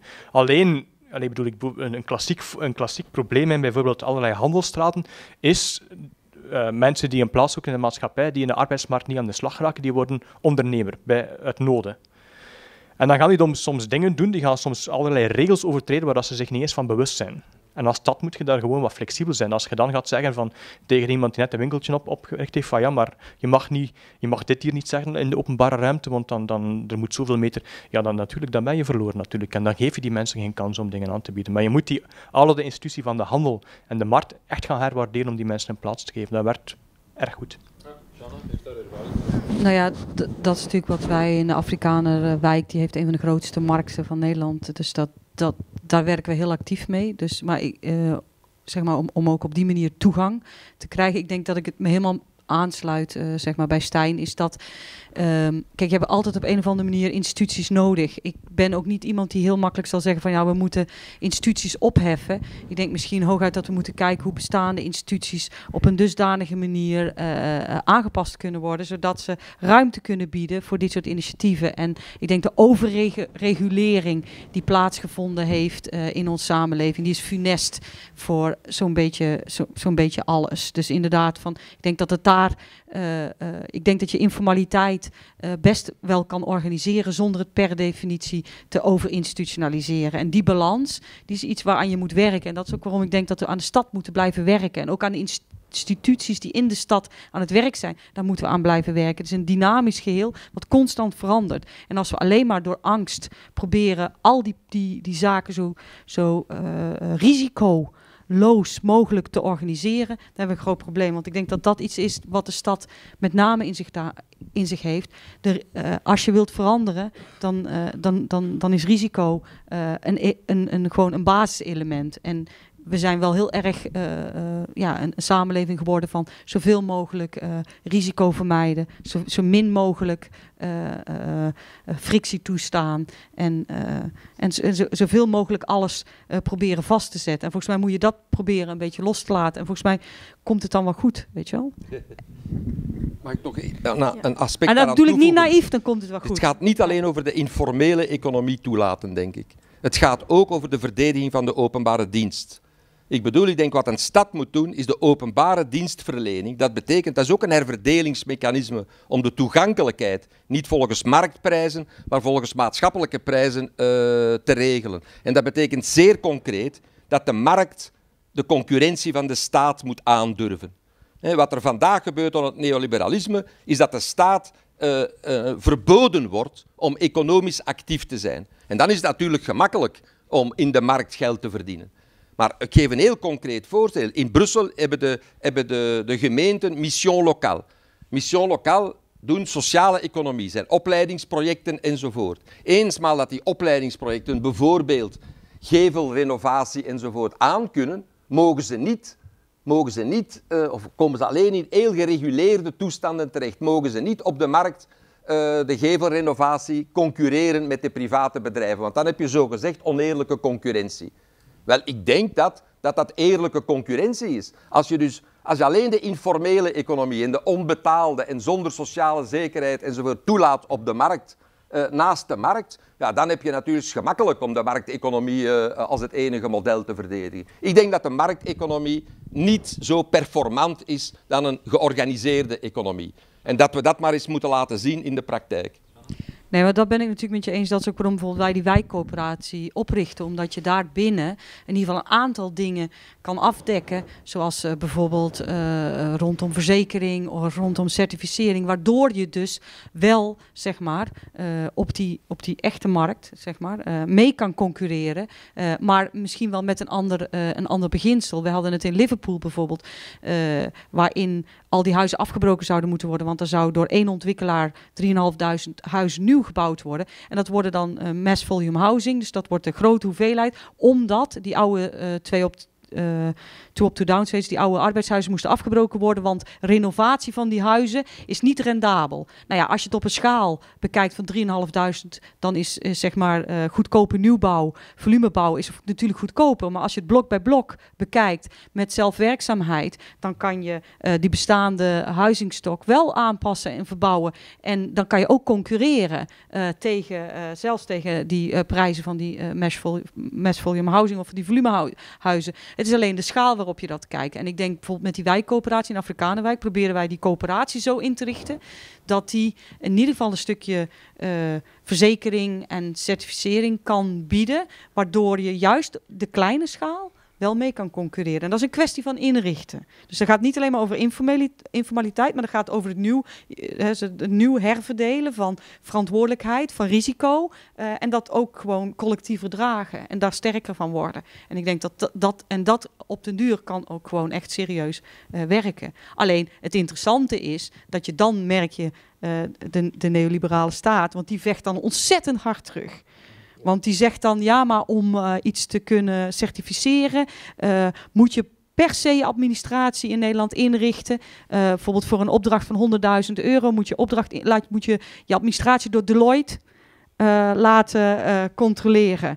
Nou, Deloitte vraagt alleen al 10.000 euro om te kijken naar je boekhouding. Laat staan om hem te doen voor je. Dus een lokale boekhouder uh, binnen die coöperatie, die kan niet, de, ik weet niet hoe dat heet, het pub certificaat afgeven voor een aanbesteding van 100.000 euro. Dus ik geef maar wat voorbeelden. Dus het gaat, nou ja, het gaat om een vorm van organiseren waarin je lokale creativiteit op een dusdanige manier bundelt, uh, waar je gezamenlijk het risico uh, kan dragen om uh, bepaalde dingen open te breken. Want dat er dingen opengebroken moeten worden, vind ik absoluut. Of herverdeeld. Ik vind het woord herverdelen mooi, maar dat is van u vandaag. We hebben nog zeker tijd voor één vraag. Misschien het publiek bezit. Ja. nou ja. ja ik, ga, ik ga het kort stellen. Het, het gaat eigenlijk over het feit van het wijkgezondheidscentrum opnieuw, maar de rol van de staat daarin. En allee, ik ben zelf ook betrokken geweest bij de uh, wijkgezondheidscentrum in Sint-Andries. Toen nog de parochie van Miserie. Dat was toen een soort buurtcentrum met patiëntenrechten, enzovoort, enzovoort. En je zegt van, de staat moet dat eigenlijk ergens anders, waar het niet is, dat model kopiëren. Ik heb een beetje schrik dat dan eigenlijk het skelet wordt gekopieerd, maar dat de ziel er eigenlijk niet mee in zit. En dat is hoe, ja, bedoel, hoe zorg je voor die participatie van onderuit, dat je ook voor goed werkende projecten, dat die eigenlijk, dat kan nooit op dezelfde manier in één wijk gelijk een ander. Hoe kan dat eigenlijk, um, ja, wat kan er eigenlijk gebeuren dat dat eigenlijk, ja, ja um, bewaard wordt? Ja. Hoe, kan je uit een good practice eigenlijk iets algemeens maken? Maar ik wil, ik wil zeker niet zeggen dat de stad um, of de centrale overheid dat soort initiatieven overal moet gaan kopiëren. Maar dat is natuurlijk wat een stad, dat is natuurlijk een van de, de stad is heel effectief omdat ze op een heel grote schaal een aantal dingen kan organiseren. Het nadeel daarvan is, is dat ze heel weinig gevoel heeft voor lokale specificiteit. Met andere woorden, ze ziet een succesvol model en ze gaat het proberen te repliceren in allerlei situaties en dan loopt het verkeerd uiteraard, omdat inderdaad eh, veel van die dingen zijn lokaal gegroeid, hebben een heel sterke voeling met wat er lokaal aan noden en aan mogelijkheden waren. En dat kan je niet zomaar overzetten naar andere wijken. Dus ik bedoel zeker niet dat die centrale overheid nu moet zorgen dat er in iedere wijk met een zekere mate van achterstelling zo'n wijkgezondheidscentrum moet komen. Alleen, op een bepaald moment, zeker voor een, voor een overheid die al 20, 30 jaar zogezegd innovatie promoot, zegt van we moeten allemaal innoveren, moeten flexibel zijn, we moeten allemaal creatief zijn, dan moet die overheid op een bepaald moment zeggen van kijk, we hebben hier een matuur model waar een aantal wijkgezondheidscentra in heel verschillende contexten bewezen hebben dat ze in slagen om de gezondheidsongelijkheid terug te dringen te werken met een groep patiënten waar het reguliere gezondheidsbeleid niet goed mee kan werken. En dan zeggen, laten we daar eens lessen uit trekken. Laten we eens kijken wat we uit die initiatieven kunnen leren. En dan wordt innovatie pijnlijk. Want dan krijg je de dokterslobby tegen. Dan krijg je allerlei groepen tegen. En dan is deze overheid heel dikwijls heeft niet de moed om daar tegenin te gaan. Om te zeggen van ja, maar kijk, hier is een innovatief model. Laten we deze inzicht naar uit op een nationaal niveau, op een ander niveau gaan bekijken en kijken wat we daaruit kunnen leren. En een van de conclusies zou kunnen zijn, we gaan er overal eentje inrichten, maar een van de andere conclusies zou kunnen zijn, we gaan de middelen op een andere manier verdelen, zodat het aantrekkelijker wordt voor dokters om zich in zo'n wijkgezondheidscentra in te schalen, in plaats van uh, als individuele dokters. Of we gaan de financiering op een andere manier organiseren en dit model bevoordelen. Dus het hoeft zeker niet te zijn dat die overheid dan overal zijn eigen uh, centra opzet, maar er zijn allerlei andere manieren om uh, om te zorgen dat dat toch een stuk veralgemeend wordt. Dus ik denk dat je, maar ik denk dat het probleem daar is, is dat men heel graag, we hebben vandaag een, lokaal sociaal innovatiebeleid, de minister Lieten heeft een sociaal innovatiefabriek opgericht. Dat zijn allemaal heel leuke, heel kleine projectjes, maar eens dat die projecten groot wordt, dan moet de overheid daar conclusies durven trekken. En moet ze durven die inzichten uh, veralgemenen. En daar gaat het heel dikwijls fout. Want dan zijn het geen leuke projectjes meer, dan zijn het ook bedreigingen voor gevestigde belangen. Oké, nog een slotvraag. Ja, ik had nog een, uh, een vraag in verband met die polarisatie binnen de steden. Waarbij dat er dus een, uh, een sterke solidariteit is bij die bevolkingsgroepen die misschien iets armer zijn of iets minder middelen heeft. Um, hoe denkt u dat die rijkere klasse, die toch kapitaalkrachtig is of die toch een bepaalde know-how heeft, die nuttig kan zijn om te delen, kan betrekken om ook solidair te zijn naar die andere bevolkingsgroepen?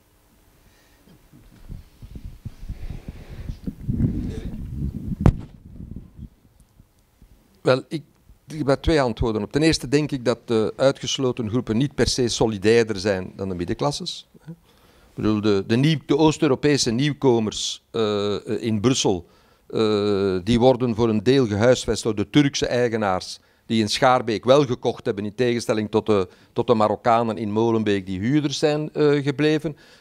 en dat zijn huisjesmelkers zoals de anderen. Dus witte middenklasse huisjesmelkers hebben geen bijzondere kenmerken dan Turkse huisjesmelkers. Dus ik bedoel, de solidariteit heeft ook te maken met het soort uh, belang, objectieve positie.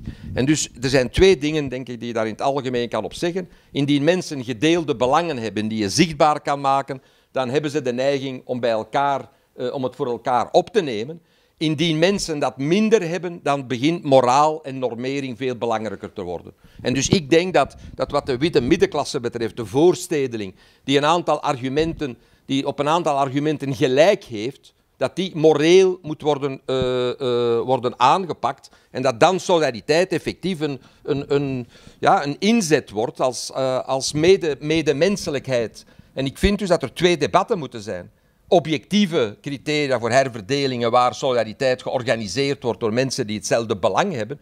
Maar de mensen hebben niet meer allemaal hetzelfde belang. En op dat ogenblik moet je dus medemenselijkheid promoten. En dus vandaar dat die belangen, die strijd rond, rond asielzoekers enzovoort, we hebben daar geen gedeelde belangen mee. En eerlijk gezegd, inderdaad, dat kost meer geld dan dat het opbrengt. Maar daar moet je effectief, vind ik, de, de, het egoïsme het egocentrisme enzovoort uh, uh, bestrijden met, met, met normerende discours. We moeten allemaal weer christenen worden. Wel, de christenen waren ook geen geweldige medemenselijke, hè, wat dat betreft. Dat ja, maar.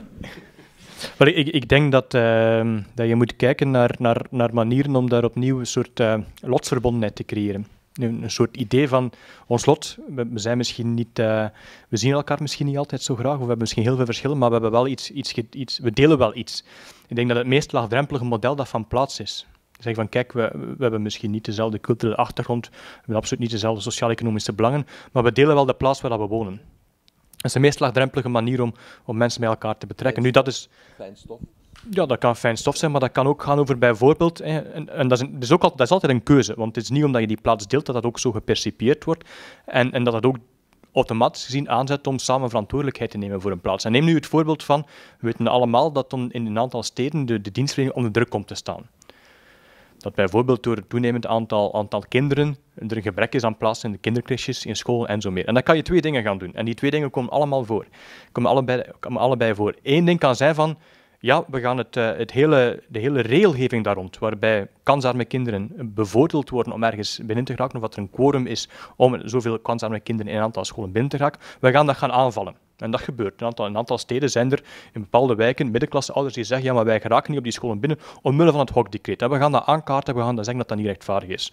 Of je kan zeggen, we gaan samen voor de dienstverlening in deze wijk mobiliseren om te zeggen er is te weinig dienstverlening. Dus we gaan ons niet uit elkaar laten spelen, deze of geen groep, maar we gaan samen aankloppen bij hogere niveaus om te zeggen jullie verzagen aan jullie plicht om aan iedereen onderwijs te voorzien.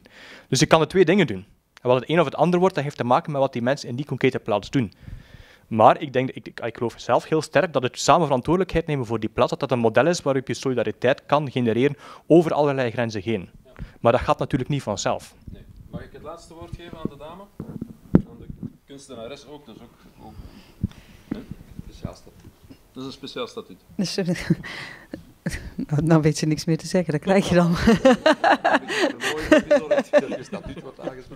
ja, als het statuut wordt aangesproken, inderdaad. Nee, maar ik denk, nou ja, daar sluit ik me wel mee aan. Ik denk dat inderdaad uh, de, de plaats, de locatie, de locus, het lokale, uh, een, een, een, een heel goede voorwaarde is om die solidariteit opnieuw uh, te zoeken, te vinden, maar ook te organiseren. En dat je dat niet altijd kan transporteren naar elke, elke andere lokaliteit dat, dat lijkt me nodig, maar dat je daar wel lessen aan, uit kan, kan, kan leren, die je dan misschien op een andere plek kan toepassen, maar die moet zich dan opnieuw vormen. En in dat vormen van dat lokale uh, denk ik dat we, uh, dat we ja, ook opnieuw niet alleen burgerschap kunnen ontwikkelen, maar ook een nieuwe, nieuwe zin van wat, wat democratie zou kunnen zijn. Als we het aandurven om ons in ieder geval op basis van de locatie tijdelijk opnieuw met elkaar te verhouden. En dat is iets wat, wat van, al, van iedereen van ons, middenklasse of geen middenklasse, maakt niet uit, ontzettend veel inzet, risico en betrokkenheid eist. En ik denk dat we daar misschien veel minder geneigd toe zijn dan dat, dat we openlijk beleiden. Dus ik zou bijna aan iedereen in de zaal hier zeggen van kijk nog eens goed naar je eigen omgeving en wat je daarin in zou kunnen, echt zou kunnen doen. Verhoud je je wel echt tot je plek. En dat is denk ik wel iets wat, wat heel belangrijk is.